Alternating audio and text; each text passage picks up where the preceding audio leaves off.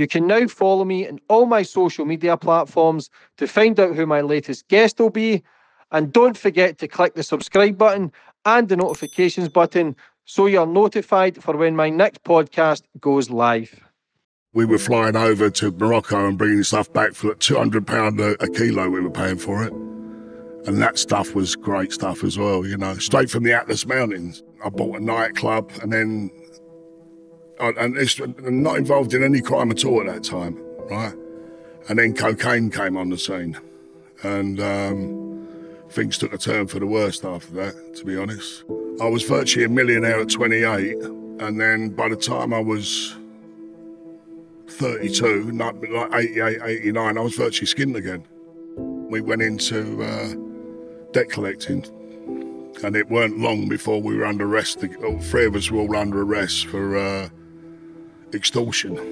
But to test it out, I flew into France, uh, was given two kilos, and I landed at the place in Kent. And the bloke turned up, collected the two kilos, and went, "Yeah, it's perfect." So that was the first one I done was just two kilos, which normally is not worth starting the plane up for. And the bloke who got caught with me had two kilos and seven firearms, seven uh, Czechoslovakian semi-automatics. And that was it, you know, we were caught.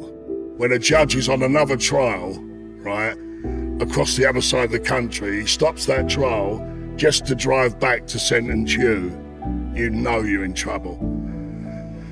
And I was thinking to, me, thinking to myself, well, I'll probably end up with about 12 or 13 years, you know. Um, and then, of course, he gives me 25, but he had to knock a third off.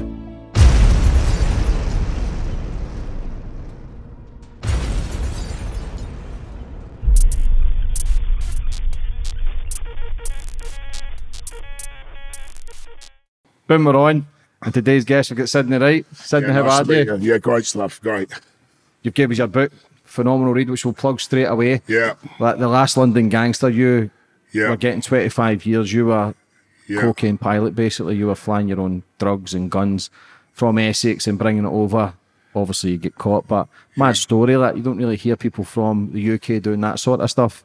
No, no, it was unusual. That was uh, but basically I was recruited in England. I knew I was a pilot, uh, one of the one of the the, uh, the gang over in Amsterdam, and they approached me. And uh, I don't know, my life was a bit boring at that time. And I thought, "Do you know what, I'll have a go at this.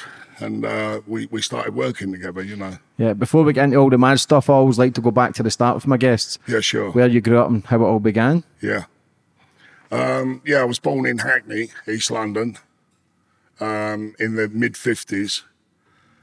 and um, I grew up in London was still very much a post-war city in those days. You know, even even when we used to play, we wouldn't say we'd meet you at the playground; it we'd meet you at the bomb site. You know, it was it was part of our, our language. Um, and they were at that that time they were doing a lot of clearance of old houses and building flats. So me and my friends, when we weren't at school, were in and out of houses. Um, we used to weigh in old rags, get the lead out of the pipe, the lead piping out, and that. You know, even when we were about nine years old, we used to uh, make a few bob that way. You know. How were you at school? Yeah, I was quite a good student at school, actually. I did quite well at school. I qualified for a grammar school when I was 11. Um, and I was due to go to a school called Parmiter's in Bethnal Green. It's quite a famous school. Um, however, my dad, my mum mainly wanted to move out of London at the time. The traffic was getting bad and it was, London wasn't really improving. So we, we moved to Essex when I was 11. Who was that for you? Uh, it was a, uh, initially it was a major wrench. Why? Well, because I came from sort of inner city, inner city lifestyle. Like I say, we could, I mean, I could strip the lead off a, a pub roof when, when they emptied the, the streets out in those days to build flats. Most streets had a pub at the end of them. And we used to have all the lead off the roofs and all that. And I went from that to sort of semi suburbia in the space of, uh, you know, a week or so. So there's not many, much ways to make money back then. No, I mean money. Money was really tight. The sixties, the early sixties. I mean, when we was a kid, I, I used to get about sixpence a week, six old pence, which is two and a half p in today's money. Um, spending money a, a week, you know. And if we went and got a load of old rags from the from the uh, houses, like curtains, old clothes that were left, lead piping, we used to take to what we called the rag shop, and usually get something like about five bob for them. Well, five bob, which is twenty five p, was a lot of money then, you know. And we used to take that money and go to the cafe and have egg and chips or egg bacon and chips or something, you know. How was your mum and dad with you as a kid? Oh, they were fantastic, honestly. Uh, my dad worked at Fords, had a good job at Fords, but because there was there was seven of us, seven children, you know, we never really had much money. Uh, all this money went basically on on bringing the family up, you know. So a loving family. A lot of people who I interview who end up in prison or a life of crime usually come from the broken home. The Yeah. The, dad not there. Or, you had the loving family and you've kind of Uh, yeah, it wasn't it wasn't the case with me. We we had a fantastic family, very very tight knit. Um, my dad was a sort of pillar of the community. He ran a football team, um, uh, Chingford Clarions, and um, you know we had a great family house. It was it was you, you you walked inside our house when I was a kid, and it was warmth and love. You know, no two ways about it. So I've got no excuses there. I couldn't turn around and say the life I had involved in crime was down to my family upbringing, not at all. when did you end up getting involved in the serious stuff? What age? Serious stuff really was probably about 23, 24 onwards. What did you do before that? Were you ever have a job or Yeah, anything? yeah, yeah. I, I um I left school when I was 16 um, and I worked, no, no, sorry, I went to college for a year, What did you do? Uh, economics and economic history. Why did you choose that? level. Well, one, it involved money and, and, and learning about business and that with economics. And economic history, I, it was because history I was pretty particularly gifted at it at school, you know. Um, that was my favourite subject, and I was just naturally good at it. So you just you had a go at that. Why did you Why did you move away from it? Well, I got a job in London as an apprentice underwriter. Um, I was taking a, what they call ACII, um, which is like Associated Chartered Institute of Insurance exams and everything. But I was earning sixteen pound a week in those days. Like this is 1973 we're going back to now, and sixteen pound a week. My my train fares sixteen pound a month, coincidentally. And I just, that where all my mates were buying nice cars like Lotus Cortinas and things, I just never had any money, you know. So I stood that for about a year and then I packed the job in, you know. Do you regret that decision now? Um, Many years Not later. really, because what it was, it was, it was stability and would have led to me being eventually being an underwriter. Um, but I'll, if I'm brutally honest with myself, I would have been bored with it. Um, getting the train every day to work, commuting, um, the same old stuff every day. Although I'd been earning, by the time I was an underwriter, I'd been earning a lot of money. It would have been very boring. So you left. You, you had a good career in that because we'll touch on later in the interview that you're a very crafty writer. You're an amazing writer. But when you leave that, then was it the attraction of the fancy cars, the fancy suits back in the sixties and seventies? I think it was, yeah. In in in, in the mid seventies, I mean, the seventies were a very hard decade, you know, in comparison to today. And um, when I left my job in in the city, it weren't long before I was got my first sentence in jail. Um, I basically got in a fight. A, friend of mine got in a fight at a, a club, a, a, a rugby club, uh, do like a disco. Um, and I said if anyone joined in, I'd, I'd back him up. And he had a fight with this bloke, and basically two rugby players went in, and I knocked them both out. And uh, unfortunately, I got nicked for it. One of them got a cut eye, so it constituted actual bodily harm. And um, I ended up getting six months detention centre. And, and trust me, detention centre in those days was tough. It was the hardest. I mean, I, I prayed to get a Borstal although the Borstal was a longer sentence, detention centres were that hard. Um, you know, it really was uh, tough. Was that a wake up call for you? Um, Or did it? Because when you I'll tell you what it did. The detention centres in those days turned you into. Did you ever see the film Scum? yeah, Right. Well, what happened to him in there, Ray Winstone, who, who's a distant relative of mine, right? actually happened to me in real life. I was in the detention centre for 10 days and it was full of, it was on Hollesley Bay Detention Centre.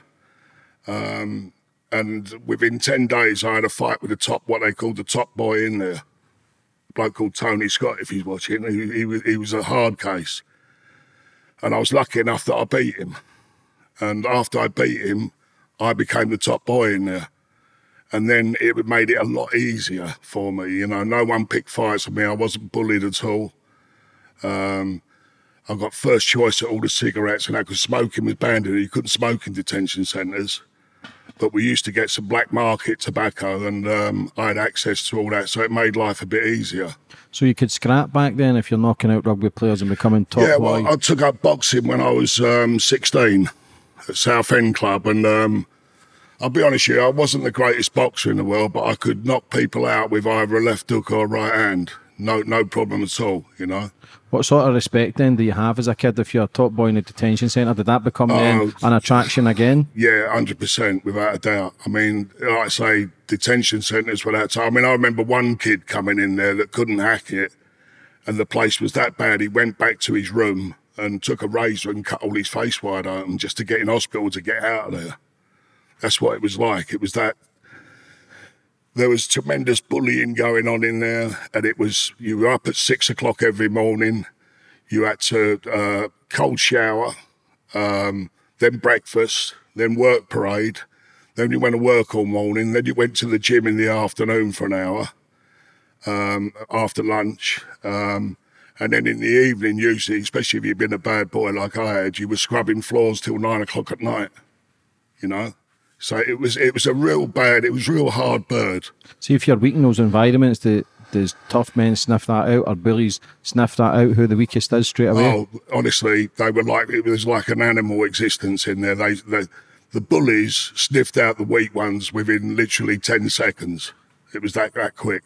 What's it like for your mum and dad to come and visit you as a kid who's got potential to be something to then ends up in detention well, centre? They, they, yeah, they were bitterly disappointed with me, but then again, you see, if if I'd have been in detention centre, say for burglary or something, some nasty sort of crime, um, you know, distasteful crime, I was in there for an honour crime, right?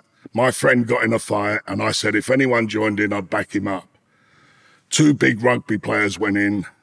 They turned on me, but unluckily for them, although I was only about 10 stone, I could punch like a middleweight or a light heavyweight and uh, I landed a couple of punches on him and put him away. You know, that to me was an honour crime.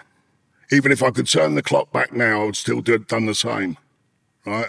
I wouldn't let my mate go into that fight with two big rugby players on his back. You know, so you know I've got no. I wasn't disgraced at all, and my dad knew that. You know, my dad always told me you stand by your friends. You know, self defence it was self defence because the two rugby players, when I, I steamed in and said, I oh, leave him alone, they turned on me. The two of them turned on me. And um, unfortunately, one of them I put away quite clean with a right hand. The, the second one, I caught him um, in the eye and it cut his eye. And that was the ABH. What did you do after the detention centre? Well, I came out of detention centre in, I'll tell you when it was, November 1974. And my best friend came round my flat the next, around my house the next day because I was back at home with mum and dad. And said, "Listen, Sid, I've got you a job hod carrying." What's that? Uh, in those days, it was the probably the hardest job you could ever have. You were carrying bricks and cement up sometimes thirty foot ladders to bricklayers. Um, but you know what? I loved it, and it got me so fit. I mean I still, my mum's, I think, still got the press cuttings at home. When I came out and, and, and did the hod carrying, I had three boxing matches in 10 days and I knocked all three out within two rounds because I was so, so fit coming out of detention centre and then doing the hod carrying, you know, it made me even better. Why did you never stick in at the boxing? Uh, I wasn't good enough to make the top, honestly. Um, when all the money, all the money in boxing in those days, and it probably still the same now, is at the very top of the game. Um, you know, uh, in in those days, you first say 10 pro fights, you're getting about 250 quid a fight in those days. Well, I was earning £100 a week hod carrying, you know. So mm. it just didn't, and, and again, I would never have made the top. Uh, even now, I think the top 1% of boxers are only ones who make money. I had Joe Calzaghe yeah. on last year. He was 22 0, world champion, and he owed money to yeah, promoters. exactly. I mean, and you've got to remember the time I, I used to box at welterweight, at the time I was around, and, and say if I did have aspirations, I remember I went one time in 1977, um, I scored 14 consecutive knockouts, right? Not at the highest standard of the amateur game, but a reasonable standard of fighter. Now, you know, it doesn't sound much, 14 on the chart, but you try and do it, right? 14 on the chart. And people were talking about me being a potential champion and that. But you know, the champs were earning the money at that time was Ray Leonard and Tommy Hearns and Marvin Hagler. Now, there's no way on this earth that I was going to beat those guys, right? Not not a chance in the world was I going to beat those guys. So I stayed out of it, you know. Is that another? Do you regret that now? No, I don't regret it at all. I think it's the most sensible decision I ever made because I, would have I'd have ended up with uh, probably earning a lot of money because I could punch hard, right? But, but 14, and, 14 and 0 is good though. That's that's a class start. Well, I, I, stopped 14, stopped, I knocked out 14 on the trot. That was in the amateur game, mm-hmm. right? Um, and obviously, I had a few offers to turn professional, mainly because I was a very good puncher. I wasn't a great boxer, right? But I could I could knock anyone out with a left hook or a right hand, no problem. Just tough. And and I could take a shot. Yeah, I could. I could take a shot. What did you do after your job then? Hundred quid a week was that not enough for you? Uh, well, what, when I was hod carrying, believe it or not, I don't know if you've heard of a thing called a 714. No. Well, it was a tax exemption certificate, right? Mm-hmm. And what you did was you worked in those days, say you was a bricklayer or hod carrier, say you earned 100 quid that week, right? You wrote out the 714 and you got, they, the employer put that in for tax relief, right? It was, it was your way of paying tax. Then you got a bill at the end of the year from the tax people, depending, depending how many 714s you put in. Well, I was offered bent book, what they used to call a bent book and ticket.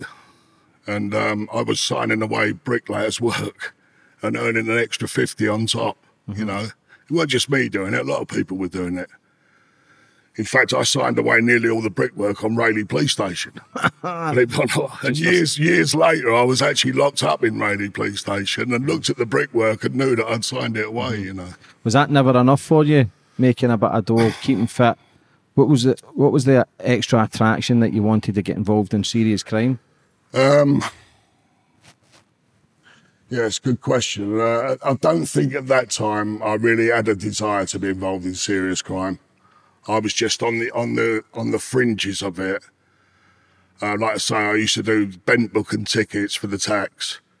Um, and around about 1977, I used to drive up to London and buy cannabis in the block.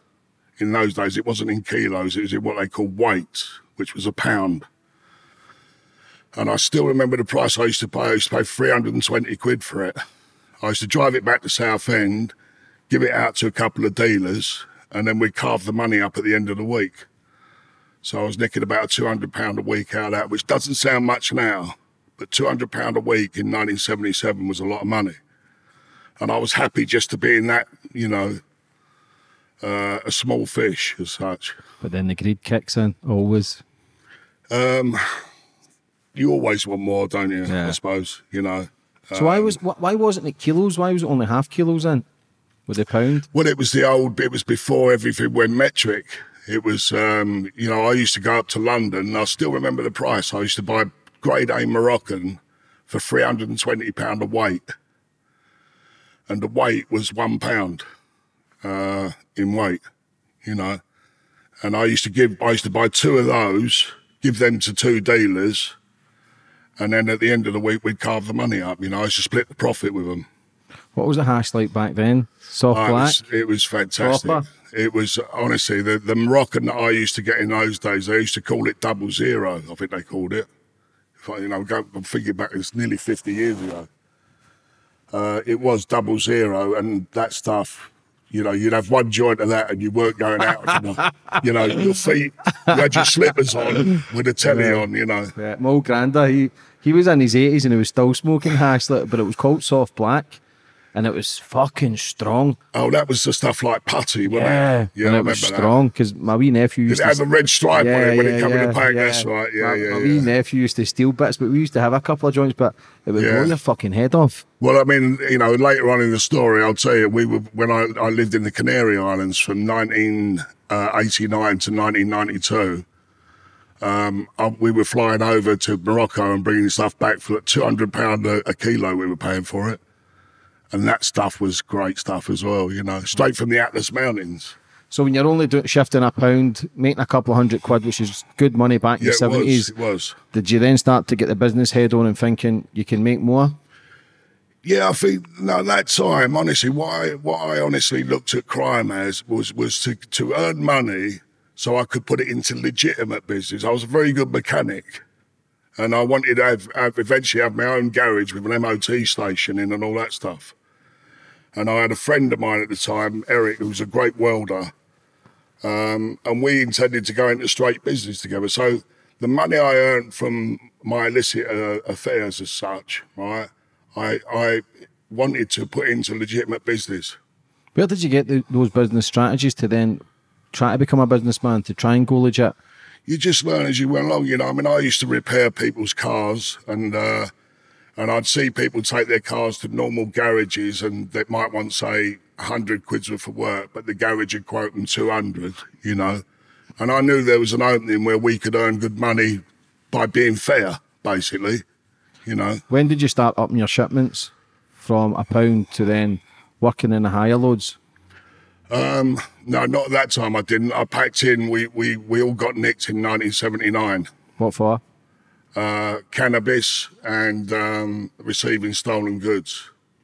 And I also had another, uh, I had a grievous bodily harm as well. What was the cannabis then? Was it a class C No, it was Class B. in the seventies? It had always been Class B. Oh, I thought it went up again, then it came back No, down. No, no, I tell you what, it went, it went down around about 10, 15 years ago, didn't it? To Class C. Mm-hmm. Yeah. And then they re-upped it to Class B again. Oh, I always thought it was C, then they put it to B. No, it was Class B in those days. Was that? But I don't think the harder drugs was out then, was it? If you if you got if you got caught, I mean, um, we we got jailed. I tell you when I got jailed, uh, December '79. I got jailed. Um, I got nine months, then I got two years concurrent, straight afterwards for the cannabis and uh, stolen office equipment. Um, so I ended up with two years. Um, and the standard issue at that time for, for cannabis dealing was about between nine and 18 months, you know. What was it like? Was that the first time you were in adult prison? Yeah, I was in Wormwood Scrubs then, yeah. What's that time. like? Detentions and borstals, they know they're tough, but adults is a different ball game as well. Yeah, I mean, nowhere near as tough as the detention centre. Um, Wormwood Scrubs in 1979 was boring. You know, you were 23 hours a day in a cell, three of you in one one cell, 10 by 10 foot by six. And it was just boring, you know. There What- wasn't the bullying. There wasn't the bullying that you got in detention centre. There wasn't the fights that you got in detention centre. But it was just a bore, you know Slopping out as well. slopping out every morning. You know, you, the door would open, you slopped out first thing. You had your bucket full of piss or whatever. No one shit in the cells in those days. You wouldn't have it, right? If anyone had diarrhea or whatever, you'd done it in a shirt and it went out the window, right? That that was everybody did that. No one slept in the cells. You know, if there's three of you in there and one of them's had a shit in the bucket, he's going to get his head punched in. You know, it ain't going to happen. Um, so basically, you either held it till the morning, or you did it in the shirt and it went out the window. Uh, that's the that's, the That's truth. fucking mad, isn't yeah, it? that's that's the truth. And the same with washing. You know, we we used to wash down in a bowl ev- every night. You walk because you only got a shower once a week in those days, and we'd wash down in a bowl, and then the bowl of dirty water went out the window. You know, uh, all down the walls of the, of the prison. You know. What was the screws like then in the seventies? Roofless. They were, I'll tell you what, they were mainly in those days, a hell of a lot of them were ex army. in the 70s. Um, they'd done their national service or they'd actually been in regiments in the army. And a, a great deal of them were decent blokes. They just, they just let you get on with it, you know. Um, you had one or two bastards in there. I mean, I remember the screws that run the block in in uh, in Wormwood Scrubs. I mean, they were infamous. They later all got jailed. They all got 15 years each, I think. You know, and they would beat you up if you got if you got in trouble, you got in a fight in there. Especially if you hit a, hit a screw, you went to the block and you got pasted. Trust me on that. So after year two, then are you thinking to go out and try and start your business again, or you're just thinking about doing the dodgy stuff? No, at that time, honestly, I really wanted to go straight because my wife had had a uh, we'd had a daughter while I was in there. She stood by me and visited me all the time and everything. And um, you know, really, when I came out, I just went straight to work with my partner. He got a workshop down down in Southend near Southend United's football ground. And I went to work there as a mechanic. He did the welding, and I did all the mechanical work on cars. You know, How hard is that when you're in prison and your daughter's born? yeah, it's this. You, you just feel detached, you know. Um, was my first child, so the same as any man, you know, you're really pleased, but at the same time, you're you're really frustrated that you can't really, you know. I didn't want my wife to bring the baby to the prison, so my wife used to come and leave the baby at home. You know, I wouldn't have it. Um, and the baby was born in May of 1980, and I I was released in uh, December, so I went six six months, seven months without seeing her. You know, which was hard. So you came out, you've got the head on, you're trying to go straight. Yeah, definitely. How do you get sucked back in again? Well, I'll tell you what, in the in the car trade, you know, I mean, that- in those days, I used to put an advert in the paper that I bought MOT fannies and any motors. So I was buying a lot of cars and uh, never anything stolen. It was all straight. But in the car trade, you meet people, you know. I mean, I can remember, I think it must have been about the middle of 1981, uh, getting hold of bent £20 notes, you know. All of a sudden, someone in the car trade went to me, listen, Sid, you know, we can get this. Uh, I went, yeah, I'll have a look at them. And I was buying £20 notes for a fiver, you know. Cashing some myself, which I did, right? But the same token, I was I was selling a load of them for tenors, you know. So I was again not really involved. I was on the fringes of crime again, really, you know, mm-hmm. as part and parcel of just being, and also as well, we were getting dodgy MOTs for cars, you know. We were. It's part of the business. In, in those days, not so much now because they've got it nailed down now. But back in the early 80s, late 70s, early 80s, you know, dodgy MOTs. I used to be able to get insurance certificates, you know. That type of thing was quite commonplace. Yeah. You know. My family were all the same. Like everything was dodgy. We always had our meter rigged, free electricity, everything. That's it. We used to use the X-ray. Pa- used to get when an X-ray used to come, used to show from like a blue sheet of paper. Yeah. If you cut that and put it round, You used to go through the crack in the meter. yeah, and it used to So- stop it and stop right. your meter. Like, You could use a photo out of a camera as well. yeah, that's right. film? Yeah, yeah, yeah. and it used to stop every time. That's it. why even now when my door goes, I don't answer it. Because back in the day when my mum and dad's door went, it was fucking get down. It's either the gas man the t- t- Yeah. or somebody was out looking for them, so they had to pull out plugs and pins. And Well, years later, when I was in the bed and breakfast business, you know, I had a lot of houses with people living in, in bed sits and bed and breakfast.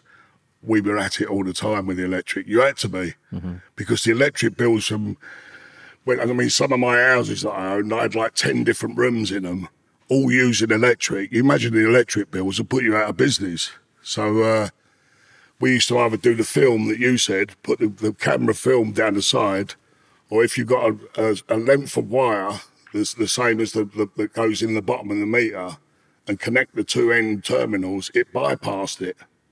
So instead of going through and spinning the wheel quick, it bypassed it and made it go slow. You know.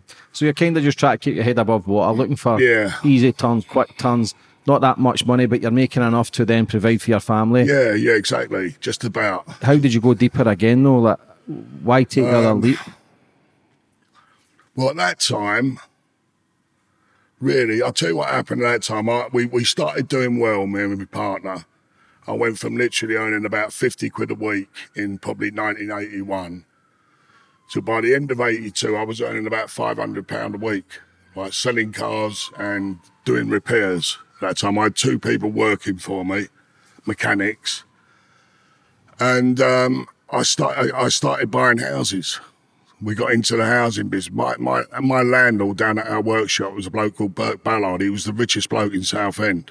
Right? He had houses everywhere. And what he what he did have trouble with though was problem tenants, right?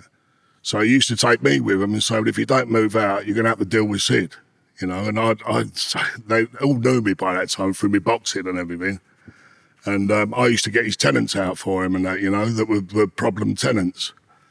Um, and he introduced me to the property business where I basically started buying houses and renting the rooms out, bed and breakfast and bed sits, you know. So I'd buy a house.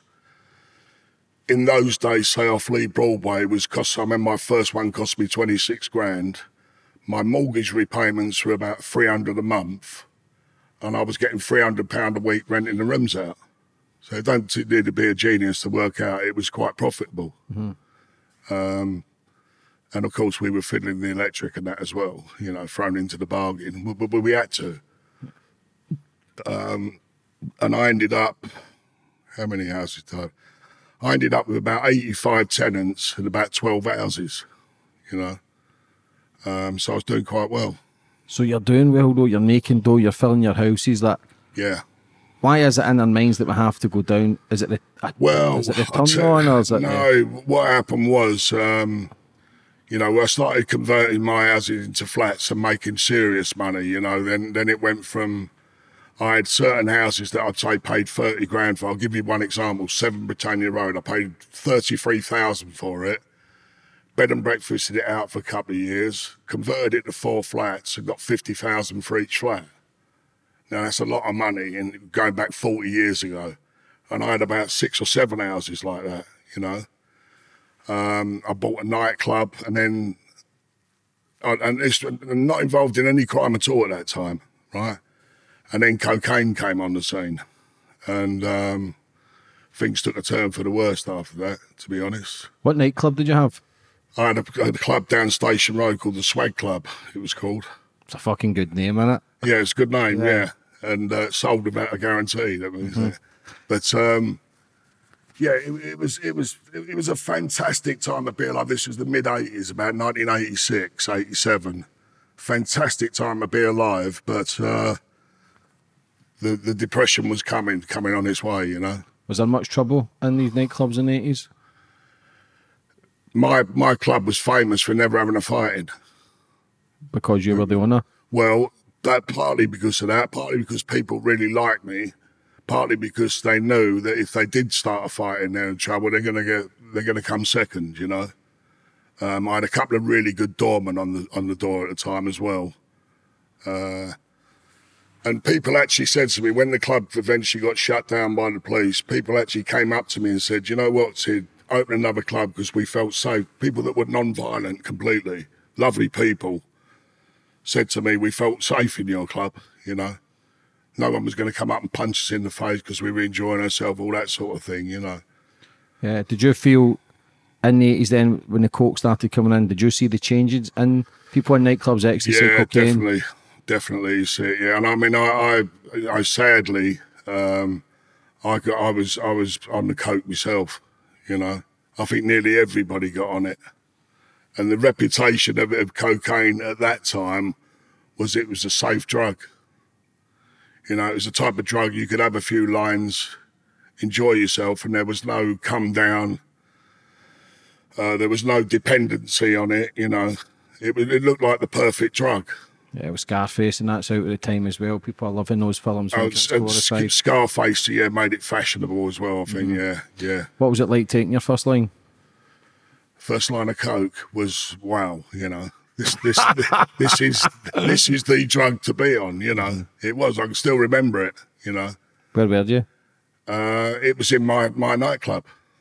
Yeah. Um, and it was you, you talked all night. You had a big smile on your face. You know the only trouble with coke was you had to keep topping it up. Um, you know, before cocaine come along, there was sulfate, whiz. and you could have a couple of dabs of that and you'd be flying all night. With cocaine, after about 10, 15 minutes, you had to top it up with another line, you know. Much was it for a gram back then? Fifty. Uh, it was 50 quid. Ain't it mad that it never changed for 20, 30 Yeah, but you've got to remember the 50 quid back in the mid 80s was a week, person's week's wages. Mm-hmm. So 50 quid in, the, say, 1985 is like 400 quid today. So it's the equivalent of 400 quid a gram. But then back in the day, because when I started taking coke, a 50 quid bit would last you six hours, seven hours. Nowadays, people are just battering a gram out in one line, two lines. Like back then, I'd imagine people were chipping in three, four of them to get a gram, enjoying their night up the road at six. Like, That's right. Yeah, yeah. I mean, if I if I had a gram, genuinely, if I had a gram of coke, I would probably get probably about fifteen lines out of that. You know, and I'd make it spread over over the course of an evening. You know, um, where the trouble with coke came was when you went back. You say you shut the club up or whatever. You went back to someone's house, and everyone just flocked to the kitchen, and then it was just non-stop chopping all night long. You know, and that used to go on. nothing's changed. No, nothing. I I dare say it's still the same today. Yeah, yeah. nothing's fucking changed. Like, Yeah. did it start getting a grip of you then? Start getting a grip of your businesses, who you were as an Yeah, individual? I'll tell you what. I started making mistakes, you know, that I'd never done before in uh, in business and that. I just weren't bothered anymore. All I could, all I could think about really was getting out the weekends and, and getting on it. And uh, I never used to be like that, you know, before about before cocaine come along. when did you see it that it was kind of damaging your reputation and your businesses? around about 1988 that was and i realized and then the slump came as well the business slump came then i mean flats that were 50 grand i was getting 50 grand for suddenly you couldn't get 15 grand from them. you couldn't sell anything and um, i think the base rate went to about 18% in 1988 89 and it all you know and then the more sort of financial things got harder the more coke you took to relieve it do you know what i mean so it was a, it was a vicious circle, really. Yeah, so you started to see a massive dent in your own money in the recession. Yeah, um, you know, like I say, I made a few mistakes. I bought a few places with the bank's money that I shouldn't have done. Um, I hung on to places longer when I should have sold them as flats, and I made some some terrible mistakes. I mean, I was virtually a millionaire at 28, and then by the time I was 32, not like 88, 89, I was virtually skinned again. You know. Is that how you ended up back getting involved in crime? Yeah, well, then what I did was, luckily for me, I'd bought a lovely place I had in Tenerife, a villa in Tenerife. So I realised that the, you know, the, the shit had hit the fan in England. So me, my wife, and my daughter, and my wife was pregnant again as well. Uh, we went over to Tenerife, uh, and uh, we lived over there for uh, two years. Are you trying to start a clean life, a new life, or was it trying to get back involved in crime? No, Tenerife was straight away. Quite Tenerife at that, in those days, Las Americas and Los Cristianos was crime capital. Full stop. It was. It was. Believe me. Um, it was so bad there that the, the Spanish had to send the nationals, the police there. Uh, the Guardia Civil and the Policia Local couldn't handle it, so they sent the uh, the nationals in there. Why? Do, how do you think you always get sucked back in? I think a lot of it is is you know you're susceptible to it. You consider it to be a little bit glamorous, and also by association, The You know. circle you keep. it's it's the people you know, and they they're in the know. They know someone that's got this or they can do that, you know. And um, even when I was over in Tenerife, straight away I was in with not exclusively the criminal fraternity, but people living on the edge. Let's let's phrase it that way, you know. So you get back involved again in Tenerife. Yeah, I did. Yeah, What were you doing this time? I was flying in uh, cannabis from um, the Atlas Mountains. You were flying it in or someone else? No, me, I flew it in. Where did you get the the, the pilot's license? I, I passed that in England in 1985. Was that always your agenda to No, no, no. I, I mean, I, I, like I told you, I was earning a lot of money in the mid 80s, and uh, a friend of mine took me flying one day because he, he'd qualified as a pilot. and I sort of said to him, Look, you know, what do you have to do to qualify? And he told me. So I went and did it, you know. How long did it take you? Um, I, I passed through in 38 hours. What? 38 hours of Not flying. take years to or months? No, no, I did it in 38 hours. Is that like a Um, crash course? No, no, no. I did it. I I was probably flying probably a two hours a week. So I did it in the space of about eighteen weeks. And um, what it is with flying in those days, I don't know about the test these days because I, I mean I passed mine back in 85, 86. Um, if you were naturally quite good, you passed in about 35, 36 hours. If you were good, you passed in under 40, which I did. So I was just considered as good, not exceptionally good, just good. And if you were a bit of a donkey, it could take you 50 hours plus, you know. It just depended how, how good you were. What's it like flying a plane for the first time? Yourself? I'll tell you what's the most frightening thing in the world is is where you you go for your lessons, right? And and you've obviously with an instructor, right? So you're up there, fifteen hundred feet up. You're with an instructor, and he lands the plane. Then you start to land it, but you've always got him sitting next to you. Then one day, without any warning, he gets out the plane and says to you, right? He did this to me after nine hours of flying. Right, up you go on your own and suddenly you're up in the air, 1,500 feet up, and you know if you don't bring that plane down right, you're going to die. That is frightening. Trust me, that is really scary. Never mind if you've got a pass on the back as well now. So you're in Tenerife. What was it like getting your first shipment when you're flying? What was the plan? What with the, with the cannabis? Yeah. Well, basically, it was just to get down to the underground of roughly a place called Agadir. Um, they had a car waiting over there where they brought the uh, the cannabis down from, and then load the plane up and go. You know, no one took any any notice of you then in there at all. You know. But, but what, what I used to do was instead of being at the airfield in, in Agadir where you could potentially get nicked, I used to land about five miles between there and the Atlas Mountains. And then, um, you know, then, then you knew you were safe then. What was your first shipment you brought over? Uh, first one was 25 kilos, I think it was. How much you paying for a kilo then? 200 quid we used to pay. What are you shifting it for? 800? No, we used to do most of it with people would come over for an holiday from a lot of our customers from Liverpool, and um, apart from some of the stuff that we sold in Tenerife, right, which was quite minimal, most of our custom went to people coming on holiday from Liverpool because they were going back to Liverpool Airport in those days. There was no customs; they just used to land there and walk straight through. Um, we were selling it for fifteen hundred a key.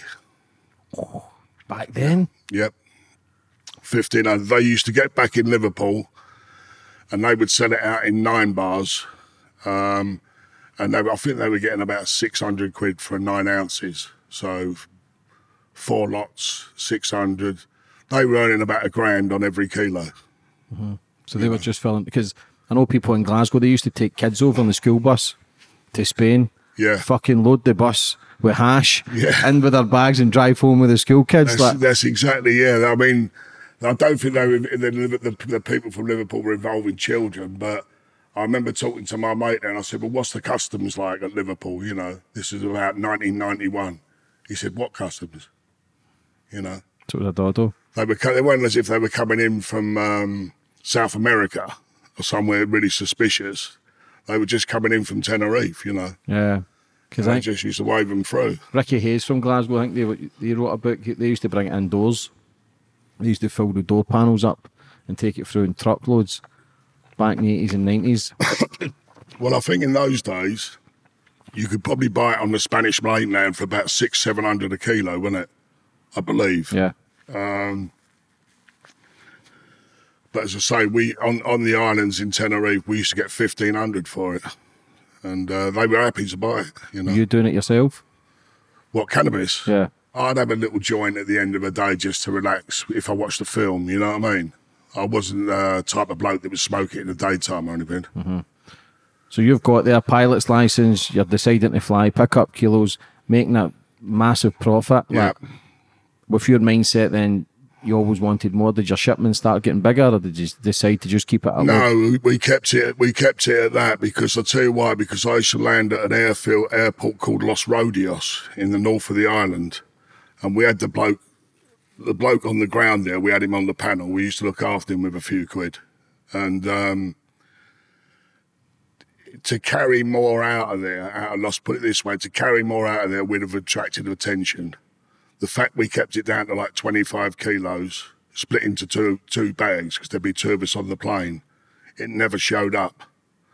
If we started getting greedy, say 100 kilos at a time, and there was no need for it, you know, because we'd only shift um, we'd only shift 25 kilos within a certain specific amount of time, you know.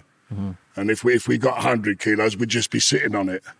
So it was it wasn't worth it, you know. How long were you doing that for? And 20, you got to remember, 25 kilos, you know, we were earning about 35 grand out of that. Well, that was a lot of money in, in uh, 1991. How long were you doing that for? I did that for about 18 months. And then what happened after that? The National, they moved, I told you just now, they moved the Nationals, the police came in and um, they started doing surveillances. Because at that time as well, we were moving quite a bit of sulfate, you know, whiz. We were moving a fair bit of that around. And um, I realised that the net was going to close in on me eventually. A few people knew what I was up to. A few people I didn't trust also knew, you know what I mean? And if they got caught for something, they were going to trade me off. That's the way I thought. And I was probably right. So uh, I called it a day. Did you feel the heat coming from the coppers? And Yeah, definitely. Um, I wasn't under any surveillance to my knowledge, but I, I, I knew they, they, someone very close to me, uh, a guy called Mark, he got lifted and got five years, and I was the next one up the chain. So it was only uh, uh, a, a matter of time, you know what I mean? And there was other people that were definitely under surveillance and that that knew about my activities that could have traded me off and probably would have traded me off, you know? do you think a lot of snitches and informants back then? Oh, mate, there, there always has been. It don't matter if you go back to the 60s, the 50s, the 70s, the 80s, there's always been informants. The police, the police are nothing without informants. You know, they couldn't catch a cold. um, it's always informants, you know. And I, I, in 1992, when I was earning a lot of money, and I put money away as well, right? So I, I haven't squandered it. I, I knew that probably within a year, if I'd carried on, I'd have got nicked. Definitely. So what did you do after the 18 months? Well, I came back to England where I was wanted. Actually, I was wanted in England for land frauds. We'd done some, uh, we committed some frauds back in the eighties with uh, council grants. There was a massive trial in Essex. The biggest uh, trial in the history of Essex Police was the uh, Southend Council grants frauds. I was caught up in that. Um, so I couldn't land at Gatwick. So I knew they had a block on me at Gatwick. I had to come in at Manchester. I landed at Manchester Airport and uh, filtered my way back into uh, Southend. You know, How long were you on the run for? The two years I was in the Canaries, I was wanted uh, for those whole two years. Did you hand yourself in when you got back to the UK? No, they surrounded. I was in a bungalow in Rayleigh, and they surrounded it with armed police. Why they armed? I, I, I, why they're armed? I don't know. Yeah, for fraud. because I was yeah for fraud, but they surrounded it with the bungalow with armed police, and uh, obviously came in. We let them in. You know, I, I didn't even put up any resistance, as, as if as if I could. Uh, what happened with that case? Uh, well, I was put on remand straight away, obviously, because I jumped bail. You know, I was wanted. Um, and I was on the same wing, fun enough, as Pat Tate and Nipper. Nipper, who's my brother-in-law, and we all know who Pat Tate is, don't we? Um, and within one day, they moved Pat Tate to uh, Swaleside on the Isle of Sheppey. And the reason was they wouldn't have the two of us on the same wing together, like me and Pat. Um, he was quite a character, Pat. But uh, anyway, I spent six weeks on remand for that. and they produced me at Chelmsford Crown Court in front of a judge there, uh, Judge Watling, who was the toughest judge at that time in Chelmsford. However, he made it clear to my barrister, Nigel Lithman, who was a personal friend of mine as well as being my barrister, and he's now the top judge of the Old Bailey, Nigel Lithman. Um, made it clear to Nigel Lithman that if I pleaded guilty, it'd be extremely lenient. Because if I went not guilty, it was going to cost the Crown millions to get the paperwork into court. It was the amount of paperwork in this this council grants files was phenomenal, right? Absolutely phenomenal. They were delivering it to the court in on forklift trucks, right? So he made it clear that he'd be lenient. So I pleaded guilty, and um, he gave me eight weeks. So all I had to do was go back for two more weeks, and the police uh, stormed out the court. They were absolutely furious. What was Pat Tate like? Pat was a, a exuberant character, you know, uh, larger than life, you know. People got the wrong idea about him. They thought, oh, because he was big and that. Pat was never really a fighter. He wasn't a fighting man as such. But he'd just walk in a room and he'd scare you just by being in there. You know what I mean? The, the, uh, he had a big personality and when he was in Chelmsford, I mean, he was he was uh, on the steroids and that you know. But a lot of them were in those days, you know. They go into prison and they do bodybuilding in prison, you know. And to be a good bodybuilder in those days, you had to take steroids, you know. Mm-hmm. Um, but he was quite a character, yeah. Yeah, because a lot of people were f- feared of him. I don't know if that's the reputation from the books and films and all that, but do you think it was maybe blown out of proportion a bit? No, Pat, I'll tell you what, Pat was the type of bloke, you could probably beat him in a fight, like a fist fight, right? but he'd come back and shoot you. You know, he was that type of bloke. He was, uh, especially years later, as he, he, he got involved in drugs. He was doing a lot of drugs and that. You know, the last time I see him alive, I drove up a road called the Ridgeway where I live in Chalkwell. And he was coming the other way in a, a 928 Porsche with the number plate on at that angle, right? I mean, any police car's going to see, you know, I don't know where, where this 928 had come from and he flashed his lights at me to say hello, and I sort of waved to say hello, and just looked, and the rear number plate was on at that angle. and I thought, what is he? What is he doing? You know what I mean? Yeah, drawn attention. I don't know if the car was a ringer or or whatever, but he'd obviously put the plates on while he was off his nut. Yeah. You know? So you've got out for that eight weeks. You've no wants. What's the plans then? Uh, crikey, what did I do at that time? Oh yeah, I ended up buying a share in the pub. You know the Elms pub in Leigh. Yeah. Yeah, I bought a third share of the Elms pub. I went into business and uh, we filled it up. Actually, we had it taking a lot of money. That place. How do you end up getting a busy pub? How do you turn it into a success? Well, we, Is that we, we, we, again? Yeah, definitely. We when when we took it over, it was closed down. Um, I think two two managers in there. One had been stabbed, and one had had a glass in his face or something and the brewery that owned it had shut it down. Um, we went in there and took it over, and all the people that were likely to do those type of things, they all knew us.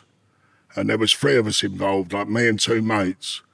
And um, suddenly in the pub, we, we just got it really busy again. You know, we were taking about, how much were we taking roughly in the Elms? Around about 12 grand a week. Now, this is 1993 by this time. You know, it was a lot of money in, in, those days, you know. Um, every week I was walking out of there with, with about £1,200 clear every week. So, so it was fantastic. Doing with your money, like you always seem to make money, but you never ever seem to get right ahead yeah, where no, you are comfortable. True. Yeah. Um, you always spend. I just partying? always lived well. I bought nice cars. Um, always had boats around me, speed boats and that. Um, you know, I buy the occasional aeroplane, which is true. Yeah. You know, and it, it, you, you money, and then obviously like, we used to party a lot. My my wife used to, his mum used to take a fair fair few bob off of me as well. You know, it, the money just goes, right? I never even in those days. I saved money when I was doing the runs in Tenerife and that. I did save. But back in England, even in those days, they're sort of pulling in 12, 1300 pound a week. Um, I never really saved anything. Just know. living a fast life. Yeah, just the money would just go. You know, by the time you you you paid up, we were renting a bungalow. Um, my wife, uh, we had the kids to feed and clothe. You know, your own clothes. Then you buy a nice car. You had to run it. Then you'd be out partying certain nights. You know, the money just went. So you've got the pub. You're making a bit of dough again, Yeah. and then obviously you've you've you've went to the dark side again when you started to make a crust. What kind of drugs were you doing then? No, I never. Uh, I, I wasn't doing any drugs at that time. I wasn't. Uh, I wasn't smuggling anything at that time. No, When- not at all. when- what did you do after the pub? Well, what happened was the police basically said that the pub was being filled with East London gangsters and we were gangsters and that, and they and they they stopped like the brewery, basically took the pub off us, you know. Um, so there was some truth in what they say, but only some truth, you know. We we used to have a lot of people come down and that, a lot of people from Canning Town, that that sort of area, and um, quite a few of the local what you'd call villains uh, used to drink in our pub and that, you know.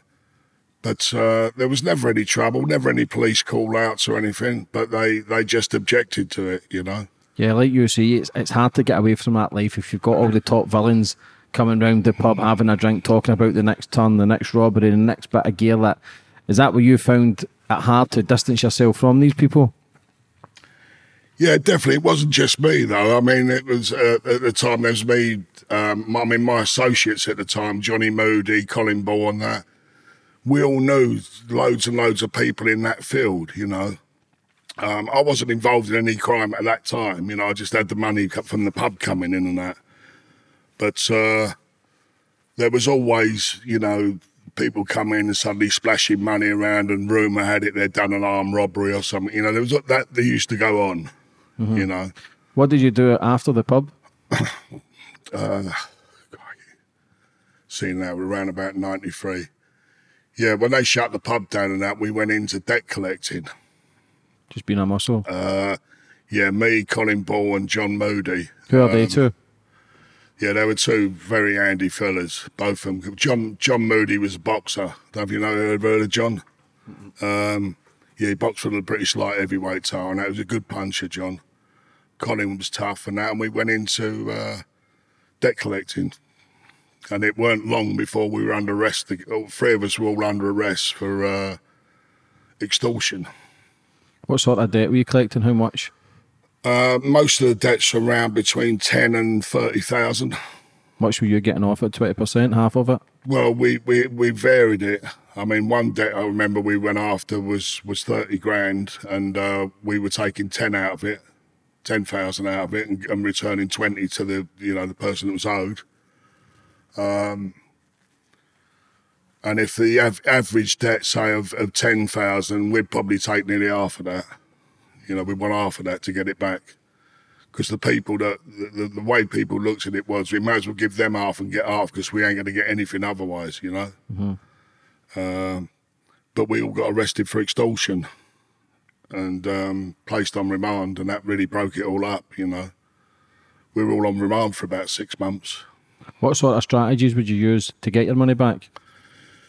Well, I'd go in and talk to them and say, let explain the situation. While John and Colin used to stand there, sort of growl at them a bit, and um, you know they could tell just by the, the atmosphere, the, the vibes that we were giving off, that we, you know, we weren't going to take no for an answer, and um, we didn't really have to threaten anyone, you know. Uh, but on one of the occasions, one of the one of the boys got carried away and uh, pulled a bloke out of his seat and broke his ribs with a couple of punches and uh, he went to the police. This guy, and we ended up on remand for uh, six months. We was on remand. Did you get sentenced for that? No, no, no. They, all charges were dropped. You know. That's what happens, isn't it? Like, Yeah, it, it, it was. It was. Uh, all they had was this guy's words. You know, and we we made a no comment interview all the way through, and uh, they dropped the charges. so what did you do when you came out of prison then? Uh, 94, 94. Oh, I started to- to go back into the property business again. I thought the top property game was going to make a turn. Actually, I sold my place in Tenerife. Um, and came out of it with just enough money to get back in buying property again. See the houses that you had in the eighties. Did Yeah. you sell them off as well when the property went from fifty grand to fifteen?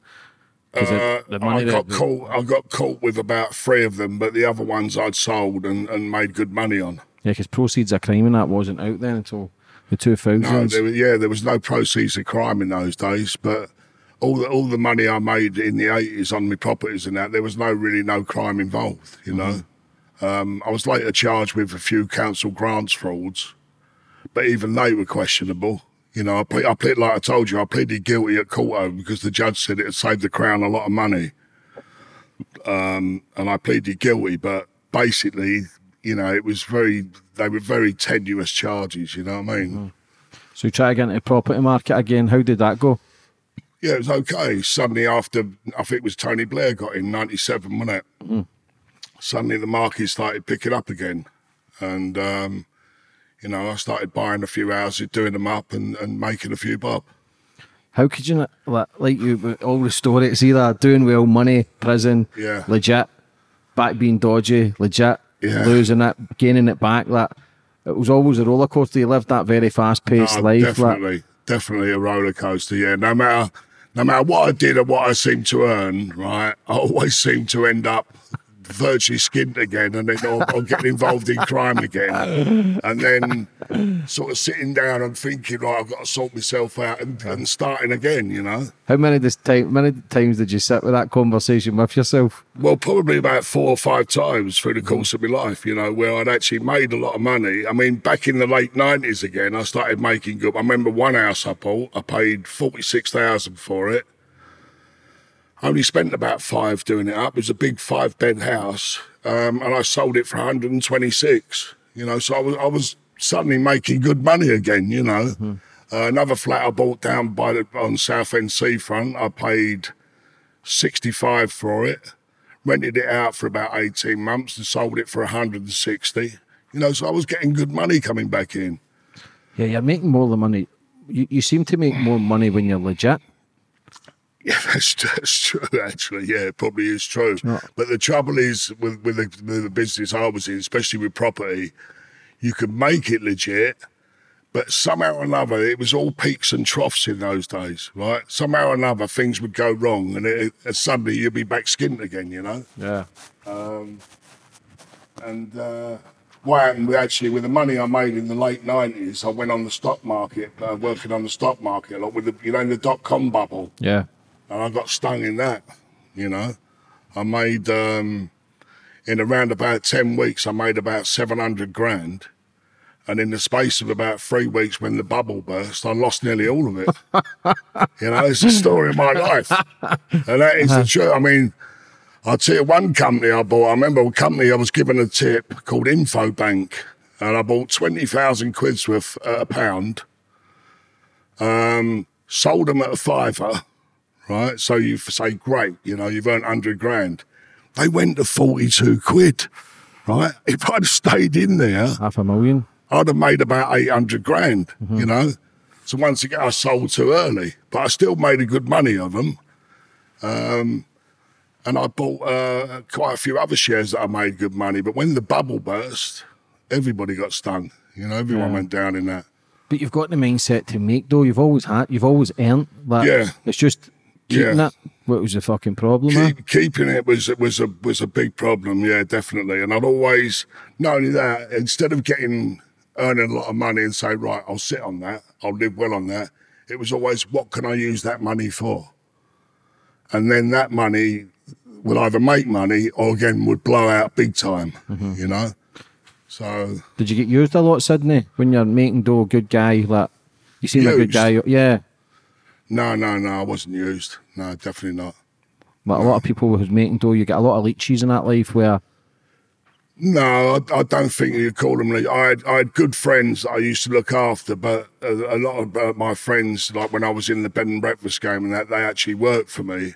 And um, as well as I looked after them, at the same token, they worked as well, you know. Yeah, and they so- were good, they were great friends. because a lot of criminals and that I speak to back in the day when they've got everything, they've got so many people around them, but when they end up with fuck all, there's nobody around.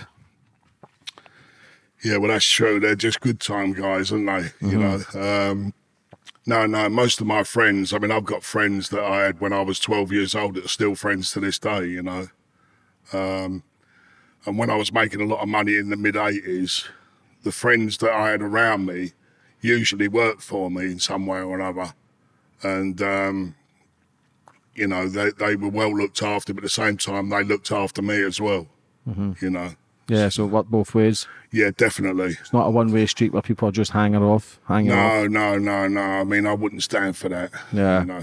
So you've got the bubble, you've you're you're making dough in the stock market. The crash happens again, very Yeah. very fast money. Even Yeah. now with kids with Bitcoin, this and that, that everybody thinks they're a genius with the stock market, but you ain't in control No. when it, like you No, say, no, the bubble's. I mean, it's an old saying: a, a little knowledge is, is can be very dangerous. Mm-hmm. And everybody, as far as the stock market's concerned, the same as politics, you've only got a little knowledge about it. And a little knowledge, if you convince yourself that you're a genius at it, then you're fucking mad, you know? Yeah. It's like people used to say to me, they'd know a share, like I just mentioned Infobank just now, right? Oh, yeah, I bought them at a pound and sold them at 40. Never. Never in a mm. million years because they don't go from a pound straight to 40, right? They go up to five quid, then they drop back to three quid. And anybody like me, for instance, when they went to five times the value, you sell because you don't know they're going to go to 40 pound, you know. Mm. So when anyone says says to you, oh, I bought them at a pound, I sold them at 40, they've got to be joking, you know. No one does that. Yeah, it's a gamble. Same as Bitcoin. I think that will be up to like 72, 76 grand. Is that what he went to? Yeah, the last, I mean, the most I heard it was 45,000. It's down to the 20s now. Is it really? Yeah. Yeah, that's volatile, isn't it? Yeah, so people did make a lot of money from it, but the bubble's busting that, I think. Yeah, yeah. I don't know yeah. too much about it because I used to be a gambler. So for me, that's still all gambling. There's never a sure thing.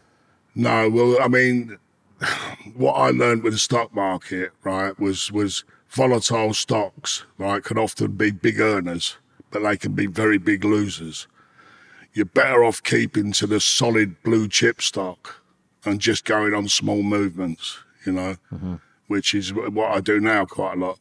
You know, I just uh, I'll buy like say hundred grand's worth of Lloyds at 42p and get out at 44. You know, I nick five percent, but five percent is five grand. Yeah. That's not bad for a day's work, is it? Yeah. I was speaking to someone who does that. They, he invests his money into Coca Cola. Yeah. The share has always risen, he says. He'll do the same as you. Make Yeah, a, well, a Coke, Coke on the American market last time I see it was about, I think it was about $170 a share or something, something like that. Um, but I'll tell you what I'm good at giving other people tips, not being on myself, and those tips actually coming to fruition. I, I, seriously, I, someone asked me, it was about two years ago, what do you reckon on the market at the moment, Sid? And I went, I'll tell you what, the best buy on there at the moment is on the American market, Goldman Sachs, right?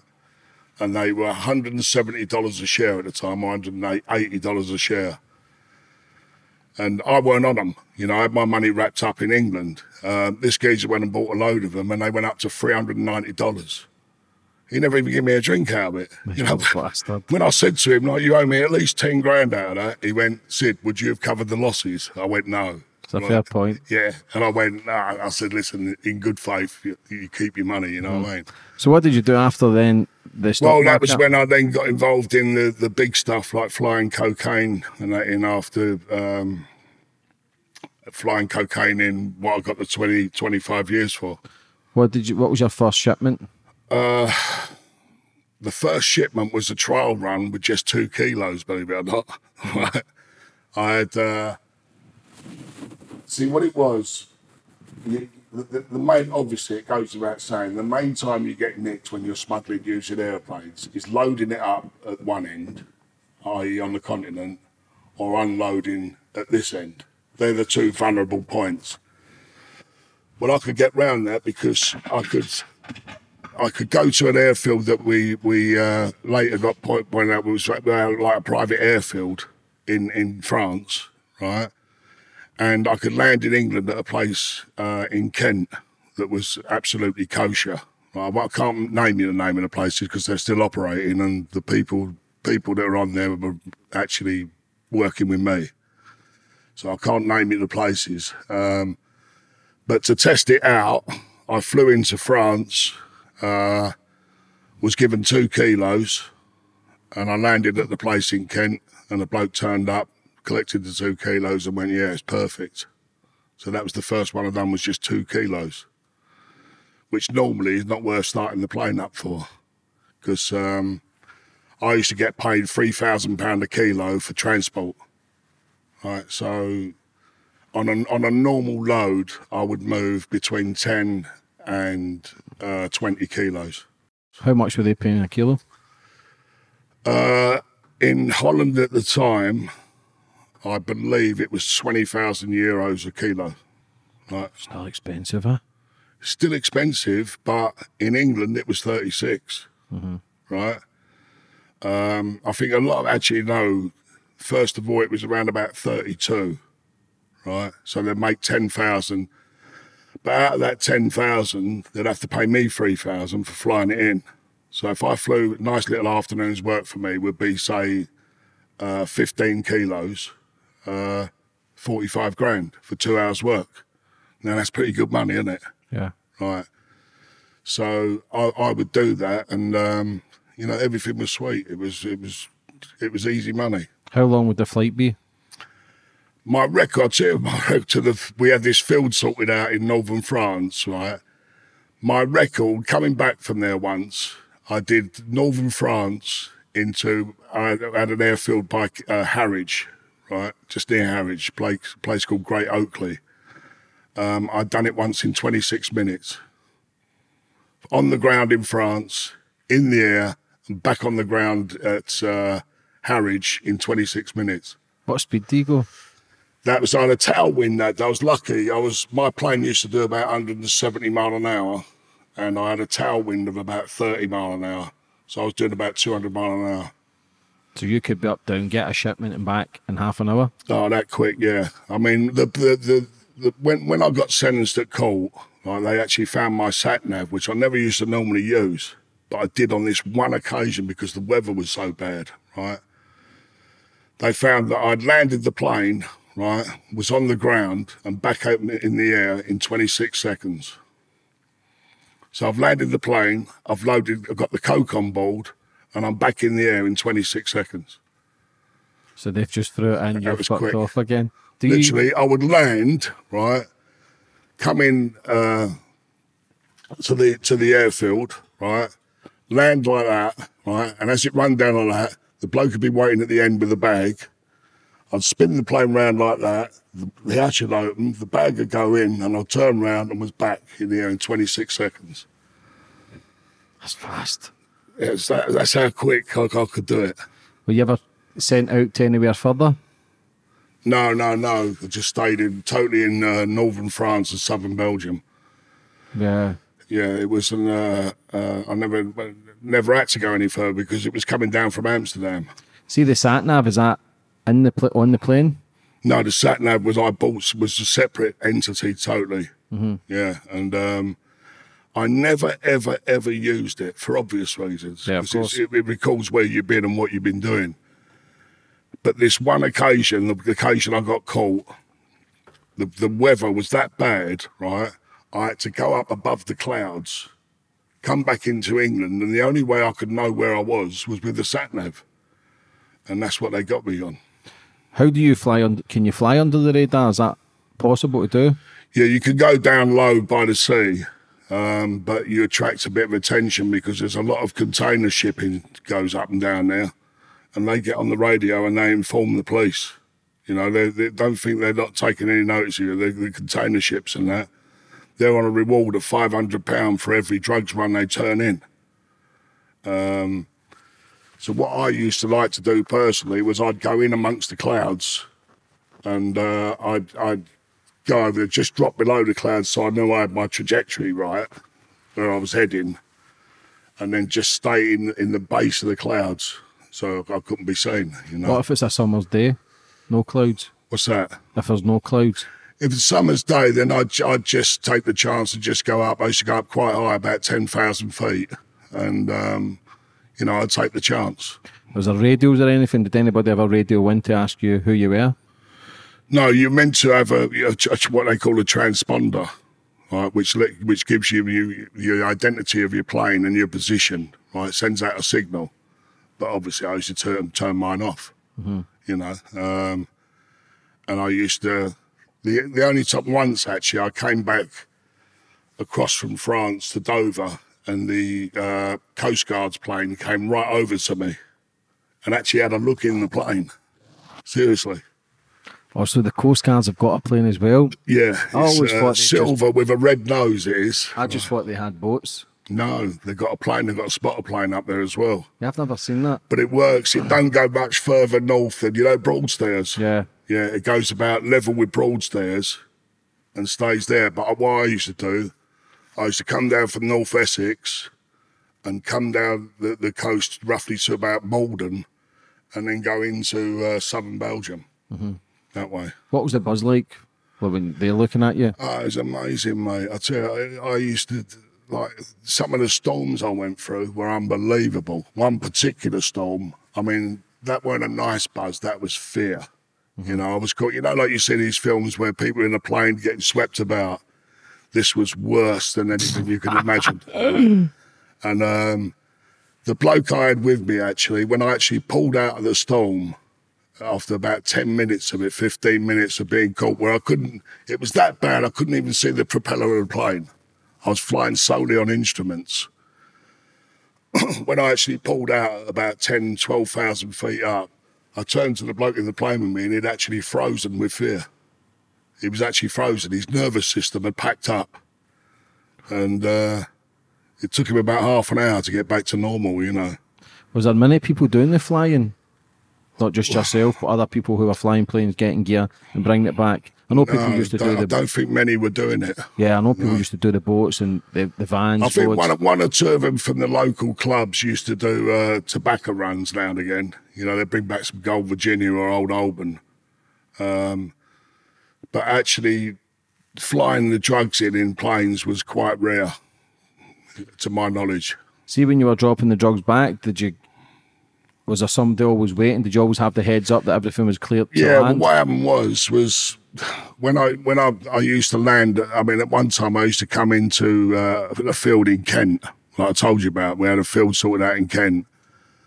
Um, everything was all right, okay. But the, the, when I couldn't land there, sometimes I'd take the risk of going at Southend, which was dangerous, How? really.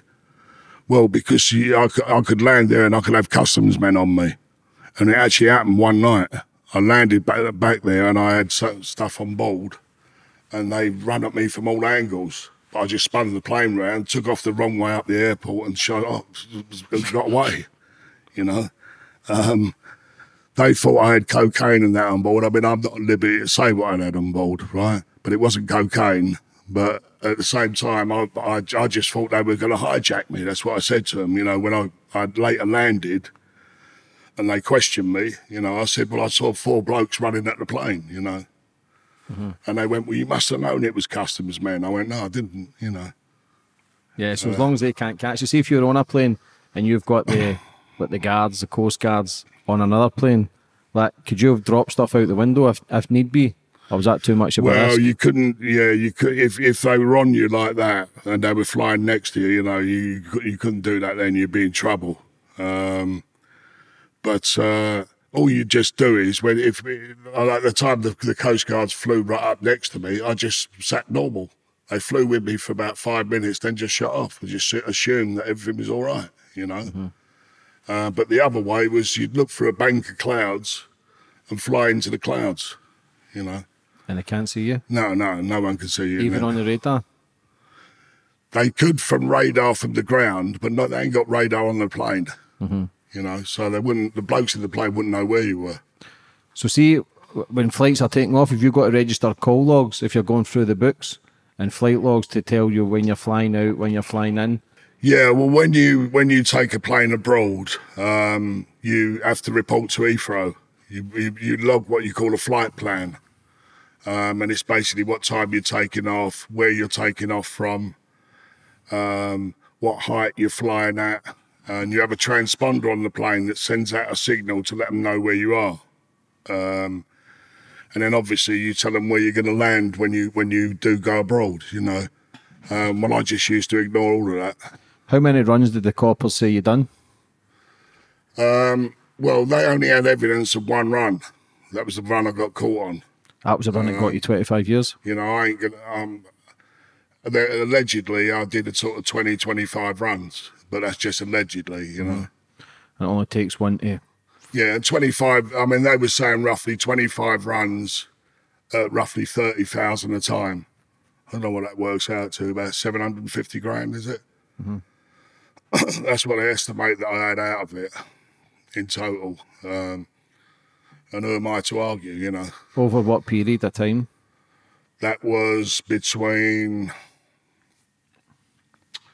206 and 208.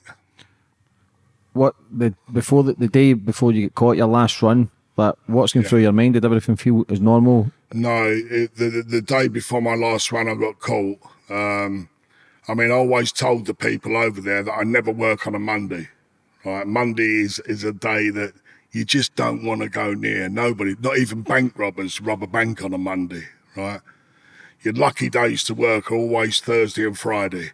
Right, it's a strange thing, but it's it's true. Right. However, they phoned me on the Monday morning. I said I'd go out and see how the day felt. Well, I always used to go out before I'd do a run. I'd actually go out and just see how the day felt to me. Just just drawing the feelings from what's what's going on around me, you know. Um, and that day, everything felt wrong. And I got back to my flat. It was around about ten o'clock in the morning, and I and straight away Amsterdam phoned me on the basher. So I've, I've answered the phone and uh, I said, look, ain't on it, ain't happening. They said to me, the contact over there said to me, look, the guy's down in France. He's sitting on 12 kilos and he's panicking. Right, they, they had a new courier or something that had taken it down from Amsterdam down to the, to the airfield. Uh, and in, in a nutshell, I said, well, look, I'll tell you what I'll do. I'll go up and take the plane up. I'll fly down the English Channel and see how it feels right? And then I'll let you know.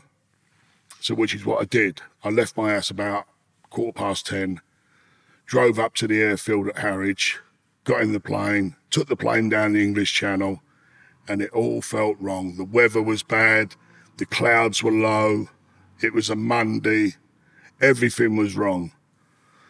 And I said, look, I ain't doing it, you know. But they begged me on the phone that this bloke down on the ground who's got the 12 kilos is panicking. Uh, and so I, I, I went and did it. Where did you get caught? Well, what happened was, again, because the weather was bad, something I never ever did, I put the sat nav on. I, I had to because the cloud was so low to find the airfield. So I put the sat nav on, landed in France, picked up the parcel, then I'm back in the air again, and again, the cloud was cloud was at around about three, four hundred feet. It was a horrible day.